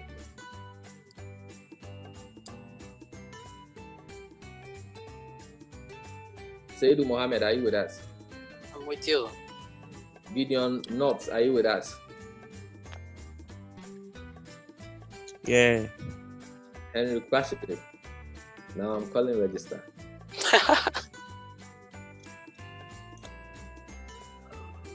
so you understand up to this point? Yeah. Okay, great. So um, one more thing I want to show you so that I, I, I want to avoid overloading you with information. And today is just the first start. So I just wanted you to be able to know how to um, intercept the HTTP request and then provide a response to it. So we are returning um, um, your sweet profile, we are returning redirect and blah, blah, blah. But Flask also makes it possible for us to create dynamic URLs. Okay, let's say we want to create a page that says hello but we don't want it to say just hello prof. We want it to say hello to any name that you specified. So let's go ahead and then create that. I'm going to put that on top. And by the way when the web server is resolving view functions and what i mean by resolving view functions is whenever a request hits the server it's going to look at the url that hits the server and then it will map the url to the function okay? It will map it to a view function. So all these view functions that you have defined here all these view functions that you have defined are mapped to the corresponding urls that have been registered on top of them.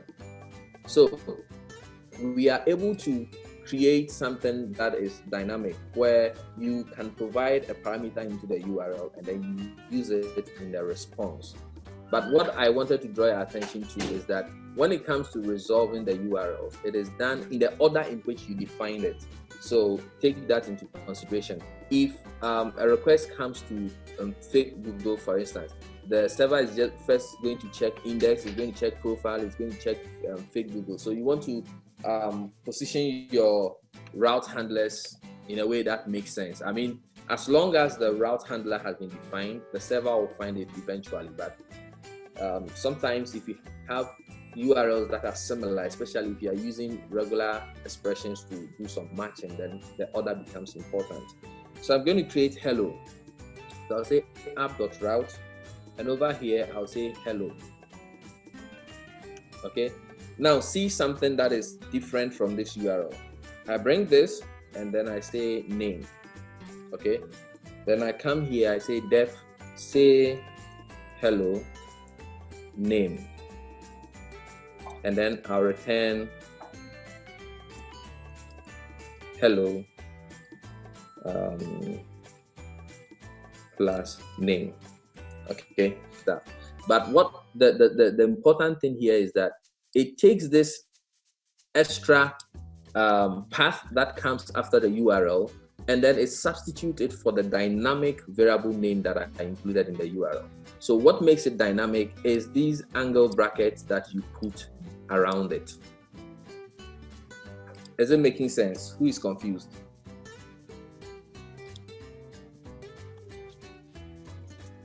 Can you go right again? So um, what happens if you call the URL um, without giving it a name? Okay, thanks. This is Python. Let's try it. So we come here, we go. Do you see it? Yeah. Because even though you, it, it is a dynamic path that, but it becomes required. There are ways for saying that it is not required. And over here, I think anything you know in Python um, should even apply. There are ways for even specifying default parameters so that when you don't apply it or not. And this is how I like to learn. I am teaching you this thing, but when you finish, play with it. Okay, so you know this is a, a function, it's a normal Python function. You want to see if somebody doesn't supply any name and you put a default parameter there, will it work? You try it. If it fails, you know it fails. You can take the end, you know it fails. This is the best way to learn. It's not just uh, what I've taught you, but play with it. The good thing is you can't destroy anything on your computer by trying stuff. And the beautiful thing is this is um, definitely Python, so you feel free to change things um, the way you want. But uh, you, you just need to learn how to read the error messages and understand what it is trying to mean. So if I come here and I say Dora, I don't know if I spelled it well, it is going to replace it there. So I'm going to go over it again so that you understand it. Now, when you look at all the route handlers we defined before we got to this point, you can see that for all of them, we just specified the URL that we want people to hit. So this is fake Google, and uh, we registered this one as face, um, fake Facebook. I don't know why I always want to swap it. Face Facebook, fake Facebook, and um, we also have profile. Inside all of these um, route handlers, you can see that we didn't have anything that is dynamic. So if you call slash profile 10 million times, it will show you your sweet profile 10 million times in the browser. But what if you want it to be dynamic? Let me show you something. Let's go to Facebook and see. If I go to facebook.com and I click on my profile, you can see that the URL changes to facebook.com slash pie Edward over here. So Facebook is doing a similar thing. They have that dynamic URL aspect of it. And so whenever you hit that route, they will replace that dynamic variable with the value you provided in here. So what this means is somewhere in Facebook's database, my ID is Pie Edward. And so they use this ID to fetch every information about me they need to show on my page. And then they render it on my page. I am sure if I look for Eric or um, this my friend Thomas Okai, I click on him. Let, let me go to um, his homepage or something. Why is it so hard to go to somebody's homepage? But you can see that it has gone to facebook.com slash thomas.okai. So basically, they are also, look, look at how nasty the URL has become now. Because they are using all these information to fetch certain things from the database. So it becomes important if you want to add some dynamism to your web application. You want to take some information. So in, in our example, we are only showing it in the browser. Go back. Go back. Um, HTTP localhost host. And 5000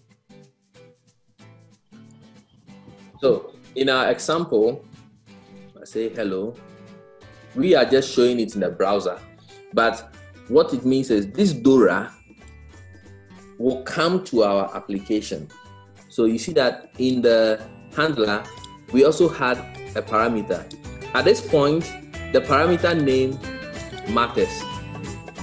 Okay, so if you place the, the dynamic aspect, you call it, let's say, full name, then you have to put over here full name as well. You can't put full name here and then just say name here.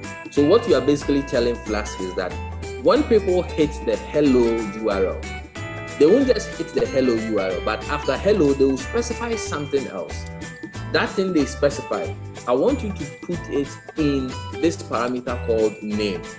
And inside here, we are just using it to um, as a normal Python um, um, um, expression. Okay, I mean we can even do to upper if in case you want to show the person's name in um, uppercase. So what I want you to take home is it is purely Python. It's not magical. What is happening here is now instead of writing your normal Python code, there is a server sitting between a client making a request, the server receiving the request, passing it, and handing over the data to your application so that your application can use it for whatever it wants to do. When we start talking to databases, we'll be doing a lot of these dynamic um, URL things. Because, for example, if the database has to, uh, if, if your URL or the user has to specify some ID so that you use the ID to fetch information about the person, it will come through the URL. And so this is how you capture information from the URL and you make use of it in the logic, the core logic of your application.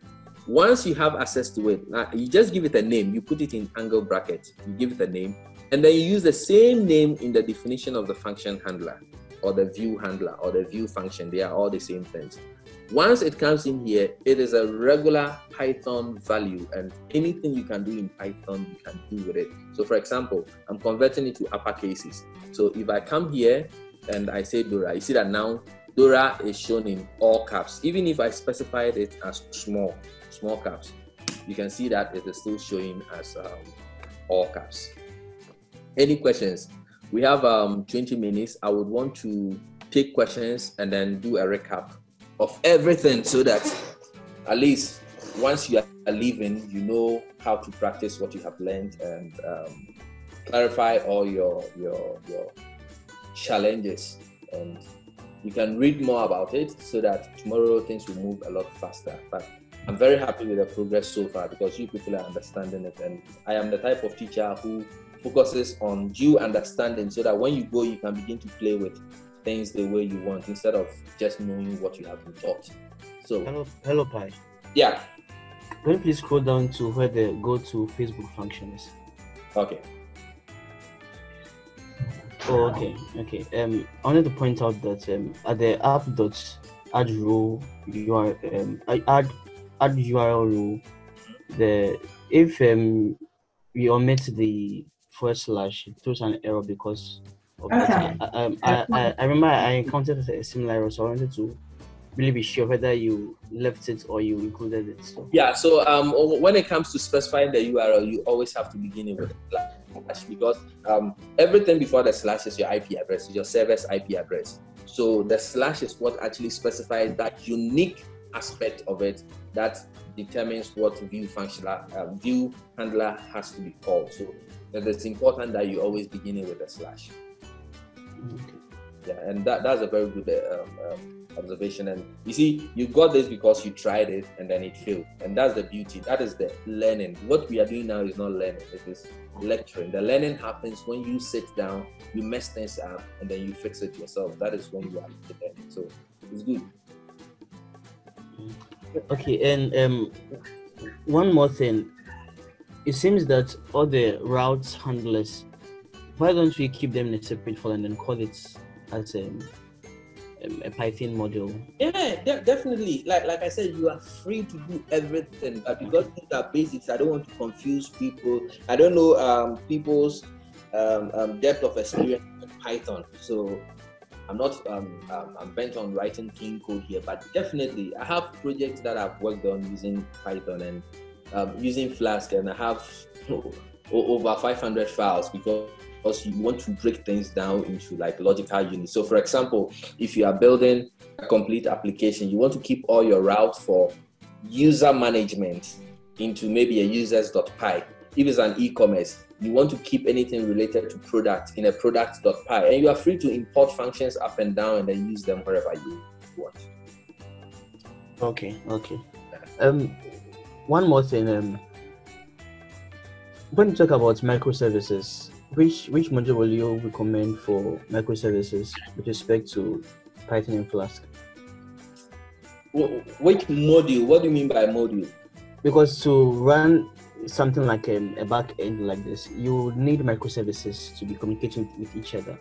For instance, if it's an IoT um, application, and probably you need one service to be communicating with the hardware, another service to be passing or probably manipulating the, the, the, the values or the data and everything like that. Another maybe service to be communicating with the client, how they are going to communicate with, with each other over a network.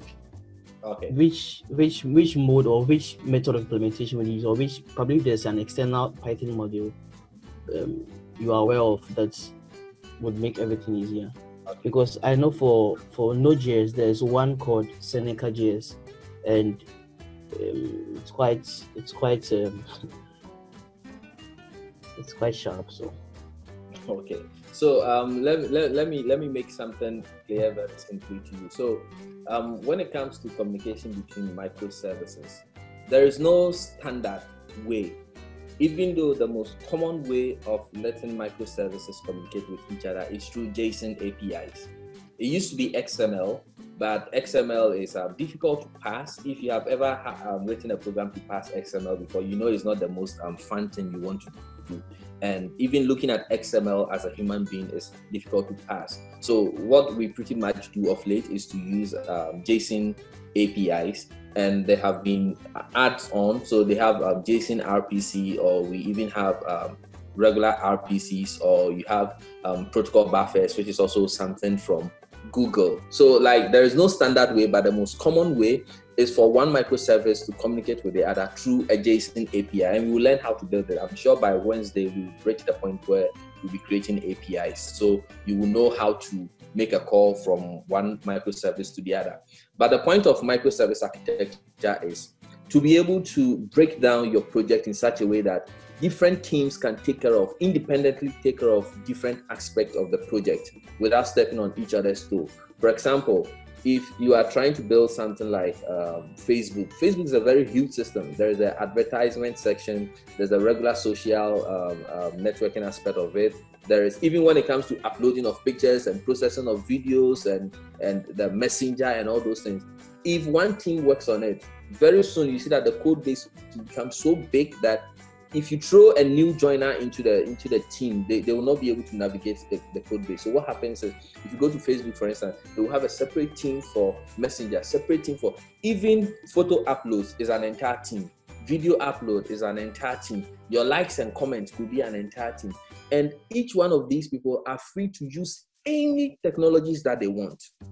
It happens a lot, like in the companies that I work at, that we have lots of microservices in the hundreds every single one of them handling different aspects. And so when you need data, you need to ask yourself, okay, which microservice is hosting this data? And you don't care which language they wrote it in. That's the beauty of microservices. So that if your team is such that somebody knows only C sharp, another person knows only Python, another person knows only Java, they should still be able to work together. It's not like because um, you know Java, you need to go and learn Python before, before you can work with them. No, the solution that microservices brings is divide your project in such a way that somebody can work on user management in Java, somebody can work on payments in Python, somebody can work on callbacks or chargebacks in C Sharp, and they can all communicate with each other using JSON or any other communication protocol. But JSON is the most common um, form of communication out there.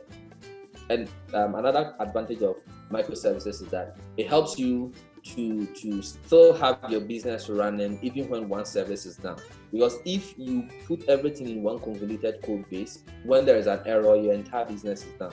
But if it is a microservice you can say oh i'm not able to sign up but people are still able to pay so your business is running. That that is the advantage. But it comes with its own troubles like when it comes to managing teams and then getting data around. But it's great.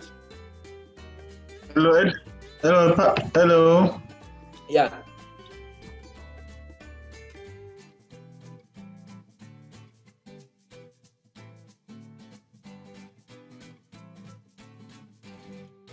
Um, you could actually send, um, um, for instance, a PowerPoint giving us a brief introduction to web design just to keep our minds, you know, it went straight into the coding and then I was, there's so many technical words being said, and then I was, I was wondering what is. I go to Google to search those things, and I think that if you get PowerPoint and then actually just give a brief of web design, the branches, something that it's actually it sets your mind. Okay, we are going to this, we are going to this, and this, this, this. At least it helps me to.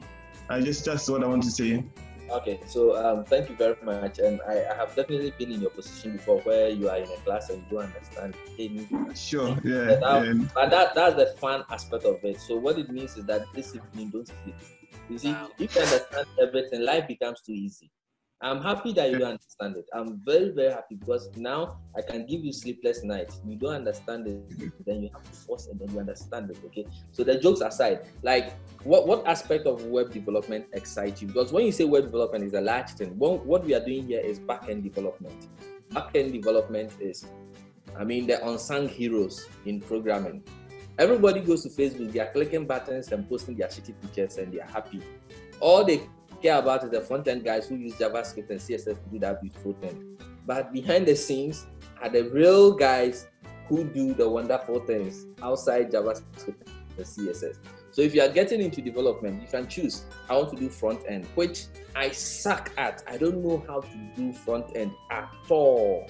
And it's okay. It's okay. See, CSS is the most difficult thing I ever tried learning. I do machine learning and I find machine learning way easier than CSS. Wow. Yes, and yeah, that, that's my problem because when it comes to design and stuff like that, I don't try. Okay, so you need to find a niche that excites you.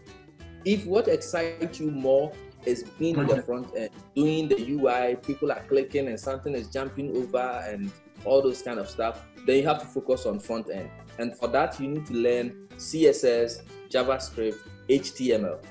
After learning these three, the rest I will say, may God be with you. The reason I'm saying may God be with you, when it comes to even JavaScript alone, the question is, are you using React? Are you using Preact? Are you using Angular? Is it Angular 1? Is it Angular 2? Is it Vue.js? Just yesterday, I saw that they have something called Svelte or something, something. Is it is it Node.js? Is it um, Express.js? Is it is it um, um, um, uh, mean? Is it the mean stack? I mean, I find it frustrating because that is not my area. But I'm happy. At this point, forget about the Python we are learning. Feel free to ask any general question. It could be um, how you want to progress in your career, what you want to do, um, um, um, if you want to switch career, what you want to do, even if you want um, international experience, you want to leave Ghana, go work elsewhere, and like just ask any general question. I'm saying this so that anybody can ask any question. You can forget about what we are doing now. I mean, it has No. ended, but we need to interact. That's the whole advantage. So you choose the niche that you like, and then you hone in your skills there. Yeah. But it also helps at least know a bit of what goes on in the back end so that you can work with back end. I don't do front end because I've played with um, JavaScript, CSS, and all those things a bit.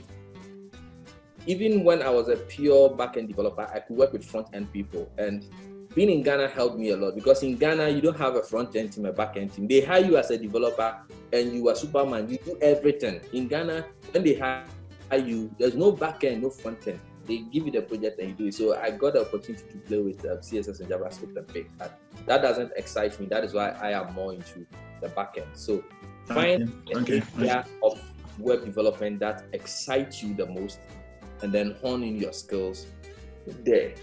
Okay. All right. But um, for, for this particular thing, I think the problem here is not um, um, um, is not this session. The problem could be that you you don't understand Python, which means um, I think Eric, you have some videos on Python, right? Yeah, yeah, yeah. Yeah, so it will really help if you can spend tonight and um, until tomorrow's meeting to watch it. And I don't want you to get discouraged. Still join. Anya, you will keep something in your mind. You un- understand something. And when these five days are over, I'm still available. Eric is still available. We have YouTube channels. uh And by the way, please, I want a subscription from each one of you. Bless your brother with subscription. You su- you subscribed already? All of you. no, Uh, myself. hello. Yeah, hello. Yeah, Hello. Yeah. Uh, so uh, Pie actually has uh, his own channel where he teaches serious machine learning, uh, learning stuff. So I'll, I'll post, I'll post, I'll share his channel on our page. Okay. And uh, seeing that most of you are concerned about the app, web app development, the front end. Uh, in two weeks' time, I'm going to schedule uh, web app web application design with Vue.js. Okay. So those those who want to do something with the front end, I think uh, you can you can join that particular class. I'll do it in the two weeks time. Okay, Vue.js. Then right from there you can know how to integrate it with what Python is teaching now because they work hand in hand. Okay, all right. So And even if tomorrow we start um, seven HTML from these applications. So Yeah. today we just focus on the backend backend stuff, but from tomorrow going, I'll show you how you create your HTML page and you actually serve it from Python. So once you know backend, then you know front end, and you become a full stack developer. And a full stack developer is somebody a company can hire and hopefully let you work on any project, whether it's backend or front end. So it comes with a bigger salary, bigger responsibilities, bigger headaches, and you make the choice. Yeah. Thank you. Yeah. Yeah, hello Python. Uh, Pie. yeah. Uh, so um, in the in, in the in the uh, how, gonna how do you how do you blend uh, machine learning with the web services that we are doing? So let's say you want to do some serious AI stuff with your web backend. Yeah, can you can you throw more light on that? Okay. So um, basically, the, the the deliverable in every machine learning project is something called a model, and a model is nothing more than uh, some huge matrix of numbers. Just think of some big array like one million by one million array of numbers. Okay. After all the noise in machine learning, what we end up is with is an array of numbers that has learned how to map some input to an output. Once you have the model, if you want to serve it for the world to use it, in my company, for instance, we use um, Python to do that. What happens is there is a way to load the model that you have the model as a file, okay? And in Flask or in any framework of choice, you would load the model from the file, and at that point, anything you know in your framework applies. So if um, I had a model right now, I could load it and then I can just create a route. So let's say I've created a program to um, detect cancer in X-ray pictures. What happens is I'll build a model, I'll get a model file, I'll create a Flask project, load the model, and create a route handler just as we have done today. But in that route handler, you will serve an HTML page, which we learn how to do tomorrow. On that HTML page, I can put a button that you click to upload the X-ray image. When you upload the X-ray image, it will come to the server, and then the server will run it to the model. The model will tell you whether it is cancerous or not cancerous, and then you return a response. It's the same. This return um, strings that we are doing here is the same. The only difference is that in between the request hitting and the response going to the server, you load your model and you run inference on it. I, I hope um, that makes sense. Sure, sure, sure. So, any questions? Hello, Pie. Yeah. Yeah, can you give us any external, say, PDF or any material that could be useful in learning all this stuff? Okay, um, I actually bought some book years back which I used to learn Flask. So that is is the, the content the, the content outline of that book I am following. It is um, a seven page a seven chapter book, but because we are doing five days, I'm treating a chapter a day. So I'm going to send that book to Eric as a PDF so that he'll make it available to you on the WhatsApp group. Yeah. Okay, okay. So it will help if everything I taught you today is actually in that book. So you can re- reread it today, and because you have the book, just practice everything. Yeah, that would be perfect. Yeah. Yeah. Trust me, try try try and get Linux on your on your computer. Or at least if you don't want to buy another computer, get yourself a Raspberry Pi. It's very cheap, like $35. Get one, uh, connect it to a monitor. This this guy here runs uh, uh, the full Linux operating system. So you get a Raspberry Pi, get yourself a monitor and some keyboards. That's all. If that is if you don't want to use your laptop to run Linux, just get yourself a Raspberry Pi. I have a friend who sells some in Ghana. He's called Nicolas Tali. So you can find him on Facebook and then reach out to him. He will deliver to you and then just just use um, Linux. Yeah, Nicolas Stanley actually is supposed to be here, but I don't know why, whether he didn't join us. He signed up. okay. Yeah. Okay. Hello, hello, bye. Yeah. So um, you know, some sometimes when you go to Stack Overflow, you see these jobs, then other stuffs. Um, assuming I'm interested in data science, like how do I go about it, and your advice on maybe entering into that kind of career? Okay. So um, the first thing I would say is your your choice of career should always be passion backed. Okay, it shouldn't be based on um, because it's a hot cake because there's money in it. Otherwise, we discuss that G. That thing before, yeah. So it should be passion based. The, the question is, why do you want to get into data science? Is it because now machine learning is a new tool and everybody is um, into it? And uh, when you are into AI, they think you are smarter than anybody that lives, which is not true. It is just basic um, um, um, high school mathematics that we do over there. So um, it should be passion based. And once you are certain that the passion is there and you really want to get into uh, this development or the data science aspect of things, you hone in all your skills. I, for instance, um, I started off as a mobile app developer in Ghana, and that is what most people knew me for. And I really didn't like that because I'm the type I just want to be known as a developer. I don't want you to tag me as mobile app developer, backend developer. I write code. If you give me a port and it has processor in it, I can code it. That is what I want to do. Okay, so you you you prepare yourself for it by reading materials getting books and if you go to my youtube channel i actually have a video where i talk of the books that i used to transition into data science up until um, january this year i was a backender i was working in um, a company here in berlin as a backender but i spent about two years to prepare myself to transition into ai and what i did was I took courses on Coursera. I took um, courses on Udacity. I took courses on Udemy. Like, I, I can't I can't recollect all the things I have learned. Plus, my huge books that are there. I have spent um, a lot of money acquiring them. So, once it is passion based, the learning will not be a problem. The problem then becomes knowing which resources to learn from. And like I said, I have made a video that tells you every resource that I use that helped me in the order in which I use it. So if you go to my YouTube channel and you, you um, check my Mastering Deep Learning playlist, you should find the video's title is Resources. I have Resources 1 and Resources 2. So check those ones out. You see exactly what you need to learn. But for you to um, excel in data science, you need to um, even ask yourself further questions. Which aspect of data science excites you? Because data science encompasses data engineers, machine learning engineers, machine learning researchers. They are all data scientists. So you need to ask yourself which aspect of data science do you want to do? The regular data scientist work involves um, gleaning insight from data.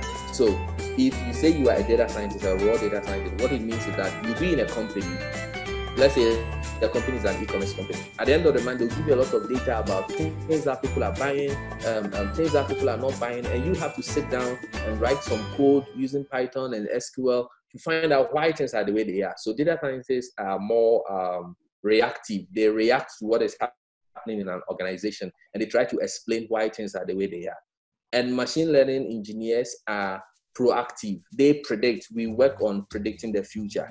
So yes, we are both um, in the data science world, but we are in um, different ends. And if you want to go into data engineering, a data engineer works on moving large volumes of data between systems. So they, they are not machine learning engineers. They don't do training of models. They don't do deep learning, and they are not data scientists. They install the tools like uh, Kafka and and and, and uh, Apache Spark, all the tools that you need to move data. Yeah. Okay. And um, you you also asked a question about um, getting a job outside. So yes. the process is very simple. You go to Stack Overflow jobs, and then you filter the location based on the country or the city you want to work in. And um, the good news is there are a lot of shortage when it comes to these um, tech jobs. So people don't mind where you are coming from; they will still hire you as long as you pass their interviewing process. Okay, so the way to pass the interviewing process it takes preparation because the way they test programmers is not the best. We all know it's not the best. Like there are some algorithms they will give you at interviews that apart from the time Dr. Alpha taught you or you learned in school, you have never revisited. And that you will ever, ever use in your work. Like somebody can ask you to implement red black trees. But in my entire 10 years of software engineering, I have never had the need to implement a red black tree from scratch. But unfortunately, this is how they test us. Okay. So you get a book. There is a book called um, Cracking the Coding Interview. So they, they have a lot of questions from Amazon and, and uh, Google and Facebook. Practice them. It is very important that you practice to prepare because trust me, when you are doing coding in an interview, the anxiety is different from when you are doing coding at the comfort of your home in the night when there is no pressure on you.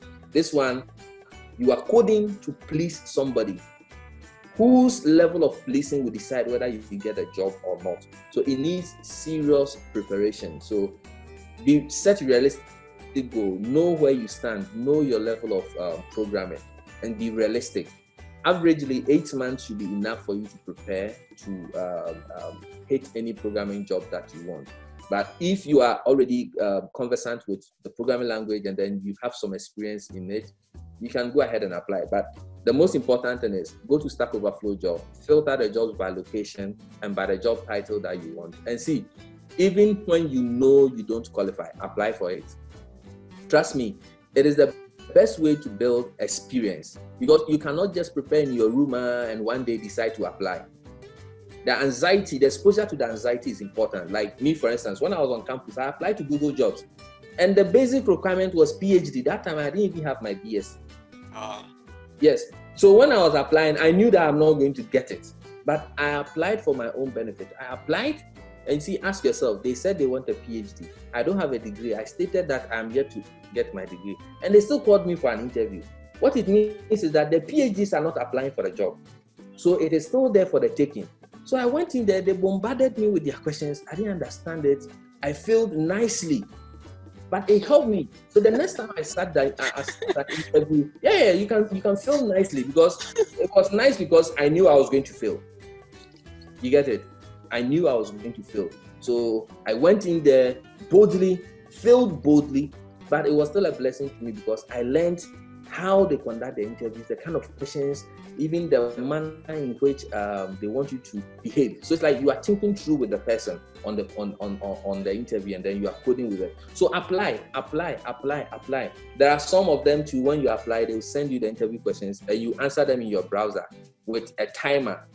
That even makes you more anxious. But the moment you submit it, they tell you whether you passed or not. And before I came here, I did interviews that I scored 10 over 100. It doesn't mean you are bad. It doesn't mean you are bad. You just failed that particular interview. You can't know all the all the questions, interview questions in this world. So just apply more, fill more, more, and then you you pass through. Okay, thank you very much. All right. Any more questions? Our time is up. We are six minutes. Um, should I say into the future? Eh, let's take like two more questions and then round up, so that those uh, who Pie is actually two hours ahead of us, so that means it's very late at this end. It's, it's 10 6 yeah. Yeah. Charity. Hello, any- Pie. Yeah. Yeah, um, I wanted to ask how you can set up um, a Linux environment with um, with Raspberry Pi. So um, the, the Raspbian OS. Okay, I'm I, my screen is still shared, right? So I'm going to show Yeah. you the, the Raspbian OS. So just go to Google and Google Raspbian. So Raspbian is um, the official operating system that comes with the Raspberry Pi, and it is based on Linux. So once once you install Raspbian, you have Linux on your computer. Otherwise, you can also install the full-blown um, Ubuntu on your computer. So this is the Raspbian website where you can download any one of them. You get um, an SD card by this. You place the SD card in here. You put it in your computer and you download um, a software called Etcher. Okay. So let me open Etcher. Yeah, so Etcher Balena. So you download the software. What the, the way it works is you select the image. So you download the operating system image onto your computer. You insert your um, SD card, and then you select the SD card on which you want to flash, and then you click on flash. It will copy it onto the SD card. You insert the SD card into the Raspberry Pi. When you power it, you have a full-blown Linux in, in your room. And this is actually very powerful. Like this Raspberry Pi 4, it comes with 4 gig of RAM, which is much bigger than the laptop I started with. So, and probably much bigger than the RAM of some of your laptop as well. Okay, okay. And then do you have any um, um, um resource materials that I can use to um be frequent with uh, Raspberry Pi and then the Linux environment? I think um, so for some of these things, there are too many videos on YouTube about them that I don't even see the need to add more.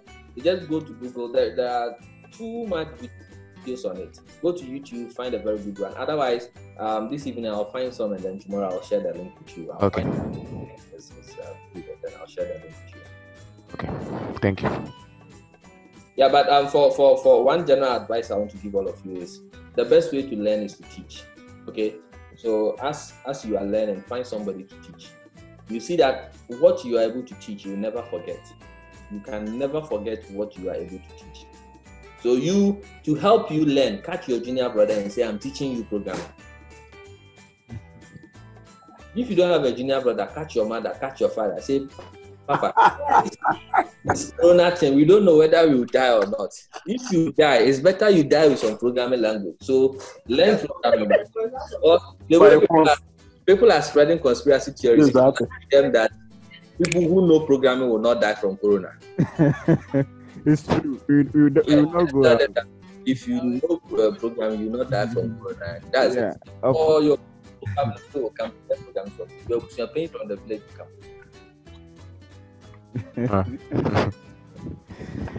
All right, all right, all right, all right. Any any last questions? The ladies, please ask Yeah. ask the last question. Yeah. Please, a question. Yeah. I used to do all boot Windows and the Linux, but then now, when I try loading the liners, it does not run at all. GRUB. Suspend. You you messed up your GRUB bootloader. are you are you close to Eric in any way? Like in which city are you? I'm a Bomso now, Kumasi. Uh, Eric, where are you? Yes. I'm at Nebula, where stars are born. Ayeduase. that chief, that chief arena. Area. arena. So so um I, I would say see Eric because it's quite technical to um, fix GRUB. I mean I, I, I see that you're a hardcore lady, so oh, maybe- she's she's one of my students. She's a hard. yeah, yeah, me I can see. So since charity begins at home, start by trying to fix it. Go to YouTube, find some videos. I mean, the beautiful thing about these computers is you can't destroy them. You can't destroy them. Hey. So just just try. If it doesn't work, you go to Eric and then he fixes it for you. But it, it is just you have messed up. Maybe when you installed Linux, you finished and you installed Windows. The Windows bootloader took over GRUB. But GRUB is a greedy uh, bastard. It wants to take over the world. So it wants to be the bootloader. So when you put another one, and then it places, then goes to Windows. There, there, there is actually a tool for fixing it. You you run, you download it and you run. that. So I've forgotten the name, but there is a tool like that for fixing your GRUB. I see. I, I, I personally never liked um, dual boot. I don't like the whole idea of shutting Mm. down just to get to another OS. So, charity, try and get yourself a, a, a Raspberry Pi. It, it, it, you, you really love it. Trust me. Okay. can connect to Wi-Fi, connect to Bluetooth, like you love it. Okay, okay, okay. I think this has been interesting so far. Uh, everything that begins initially, you have you have frictions one uh, somewhere, but I think so far so good. Okay, so um, Pie would uh, upload the code that he wrote on our Tech Foundation GitHub page. So I'll share that link. You go there, you download it. Then, like he said, just make copies, change stuff. The learning is when you do it. Okay, what we will be doing here with you is the teaching, but it will take time for you to master through the learning. And I'm also going to fix this uh, recording. I'm going to fix this session and quickly upload it. So I'm, I'm going to try and make it available by tomorrow morning so that those who couldn't follow well, you can uh, play it over and over and practice along. Then uh, when I'm done and I'm not feeling sleepy, one thing I'll do is record the intro video of how to set it up on the Windows for you and upload that one too. All right. So any questions? Uh, Yeah, Pro, Prof, don't forget to get us the PDF, okay, from Pie. sure, sure, sure, sure, sure. It's very necessary. Yeah. Okay. And uh, yeah. got it. Let me Google it and just share the link with so that you can download it. Okay. Okay. yeah, Plus, Yeah. Um. Hello. Hello. Yeah. So, uh, like I said, I would uh, because of the need for the web application, the front end side. In two weeks' time, uh, we will schedule a, a, program on how to design web applications using Vue.js. Actually, that is what I use for all my work. Any website that I design, it's always a single page app, uh, PWA, a progressive web app. Then I link it to a Django backend or a Laravel backend. Okay, so uh, we will do we will do uh, a program, a training on how to build web applications using Vue.js. So um, in two weeks' time, if you are interested, you can sign up for that one too. Okay. All right. Yeah. Um. Please, um, Pie, can you yeah. please um um share your the link of um the book in the comments and the chat so that you can just... there's a chat here. So I've shared the link there. Just click on it and download it and start. All right. Thank you. Yeah. So um, it's called Flask Web Development, written by uh, Miguel Grinberg. It's a very good book. That's what I used to do. All right, all right, all right, all right, all right. Pie, so thank you very much. Uh, we hope for more tomorrow.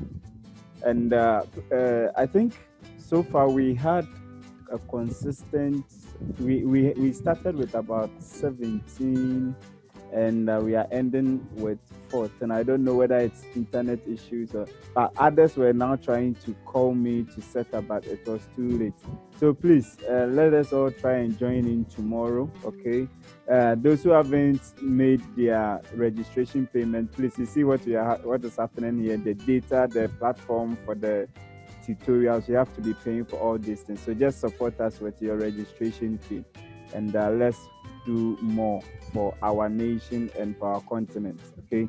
The next time there is a pandemic, Africa should be the one leading the help, not the one accepting the aid. Yeah, that, that's why they create the new vaccines and come and inject it. yeah, yeah. And no the background, you knew we could better stay ahead. Hmm? Ghana Standard Board. I don't know what they are doing and all those things. So please, that is the aim of Tech Foundation to give the, the youth the power to do some of these things. So help us. We are self-funding everything right now, though we have a couple of sponsorship. You can help us, donate to support us, and all those things. So the registration fee that we took is not to charge you. Obviously, a training like this will cost more than that. It's just to assist us with the work People that we are doing. Euros to learn Python. Yeah. Berlin, fifteen thousand just to learn Python, just Python, not web development, just Python yeah so please uh, henceforth all the programs that we'll be hosting on zoom we'll try to take something small okay just to support it so just bear with that the training it's our wish to make it free okay so thank you all for coming uh don't forget spend the night mm-hmm. Tomorrow is you are still on lockdown so enjoy the night programming i'll be online if you need any help you can dm me or you can still post on uh, uh, the Python page. It's meant it's meant for discussions, questions, and all those things. So so far as the question, whatever you want to ask us Python, I am there. Pie is also there. Just ask it, okay? But let us try and keep the noise and everything under control so that people will not feel uh, disturbed, okay? All right. So thank you very much for coming. See you same time tomorrow. This is Tech Foundation making Africa tech literate. Bye bye. Bye. This brings us to the end of our tutorials on uh, floating point data types. Now, in the next tutorial, I'm going to talk about functions, okay? Now, as I always say, please don't fall prey to shortcuts. Learning programming requires you to spend time to obey the process, spend time to understand the basics. Don't be in a rush. If you go in rashly you will end up not knowing anything. Is that okay? Remember follow the process take your time to understand the language that you are using you are as good as how best you can use your tools now, I want to express my gratitude to our partners and sponsors. SATEC designs and build smart agricultural machinery suited for African conditions and use. They also provide fabrication training and computer aided design services to manufacturing industries. Syriatech Technologies is an electronic component retail shop at China House at Doom Kumasi. So you can contact them for all your electronic components, including Arduino kit and sensors of all kinds. Tesken Enterprise is the number one distributor of electronic components, electrical components, and hardware. You can locate them at HM4 Market, Kumasi. Call them for all your electronics and hardware needs from analog to digital devices. Erictronics deal in smart electronic system development, software and web apps, IoT system design, project and research, and IT training. You can contact us for your next multi million dollar project. If you want to be a sponsor or partner of this program, please call us on the numbers displayed on your screen and we'll be happy to sit down with you. You can also donate in cash or in kind to support our training. We actually need a good camera and sound system for our video recordings, and uh, I'm planning on starting an electronic session, and I will need these tools for better uh, video recordings. Okay, your support will be very appreciated. You can Momo us any amount using the Momo account on the screen. Okay, from five cedis to 500 billion Ghana cedis or dollars everything would be welcome. Now, remember, Kitwa so help us make Africa tech literate. Once again, thanks for watching this tutorial. Don't forget to like the video and subscribe to this channel. We want to know how we can make this training better for you. So let us hear from you by posting a comment in the comment box below. All right, I am Professor and this is Tech Foundation.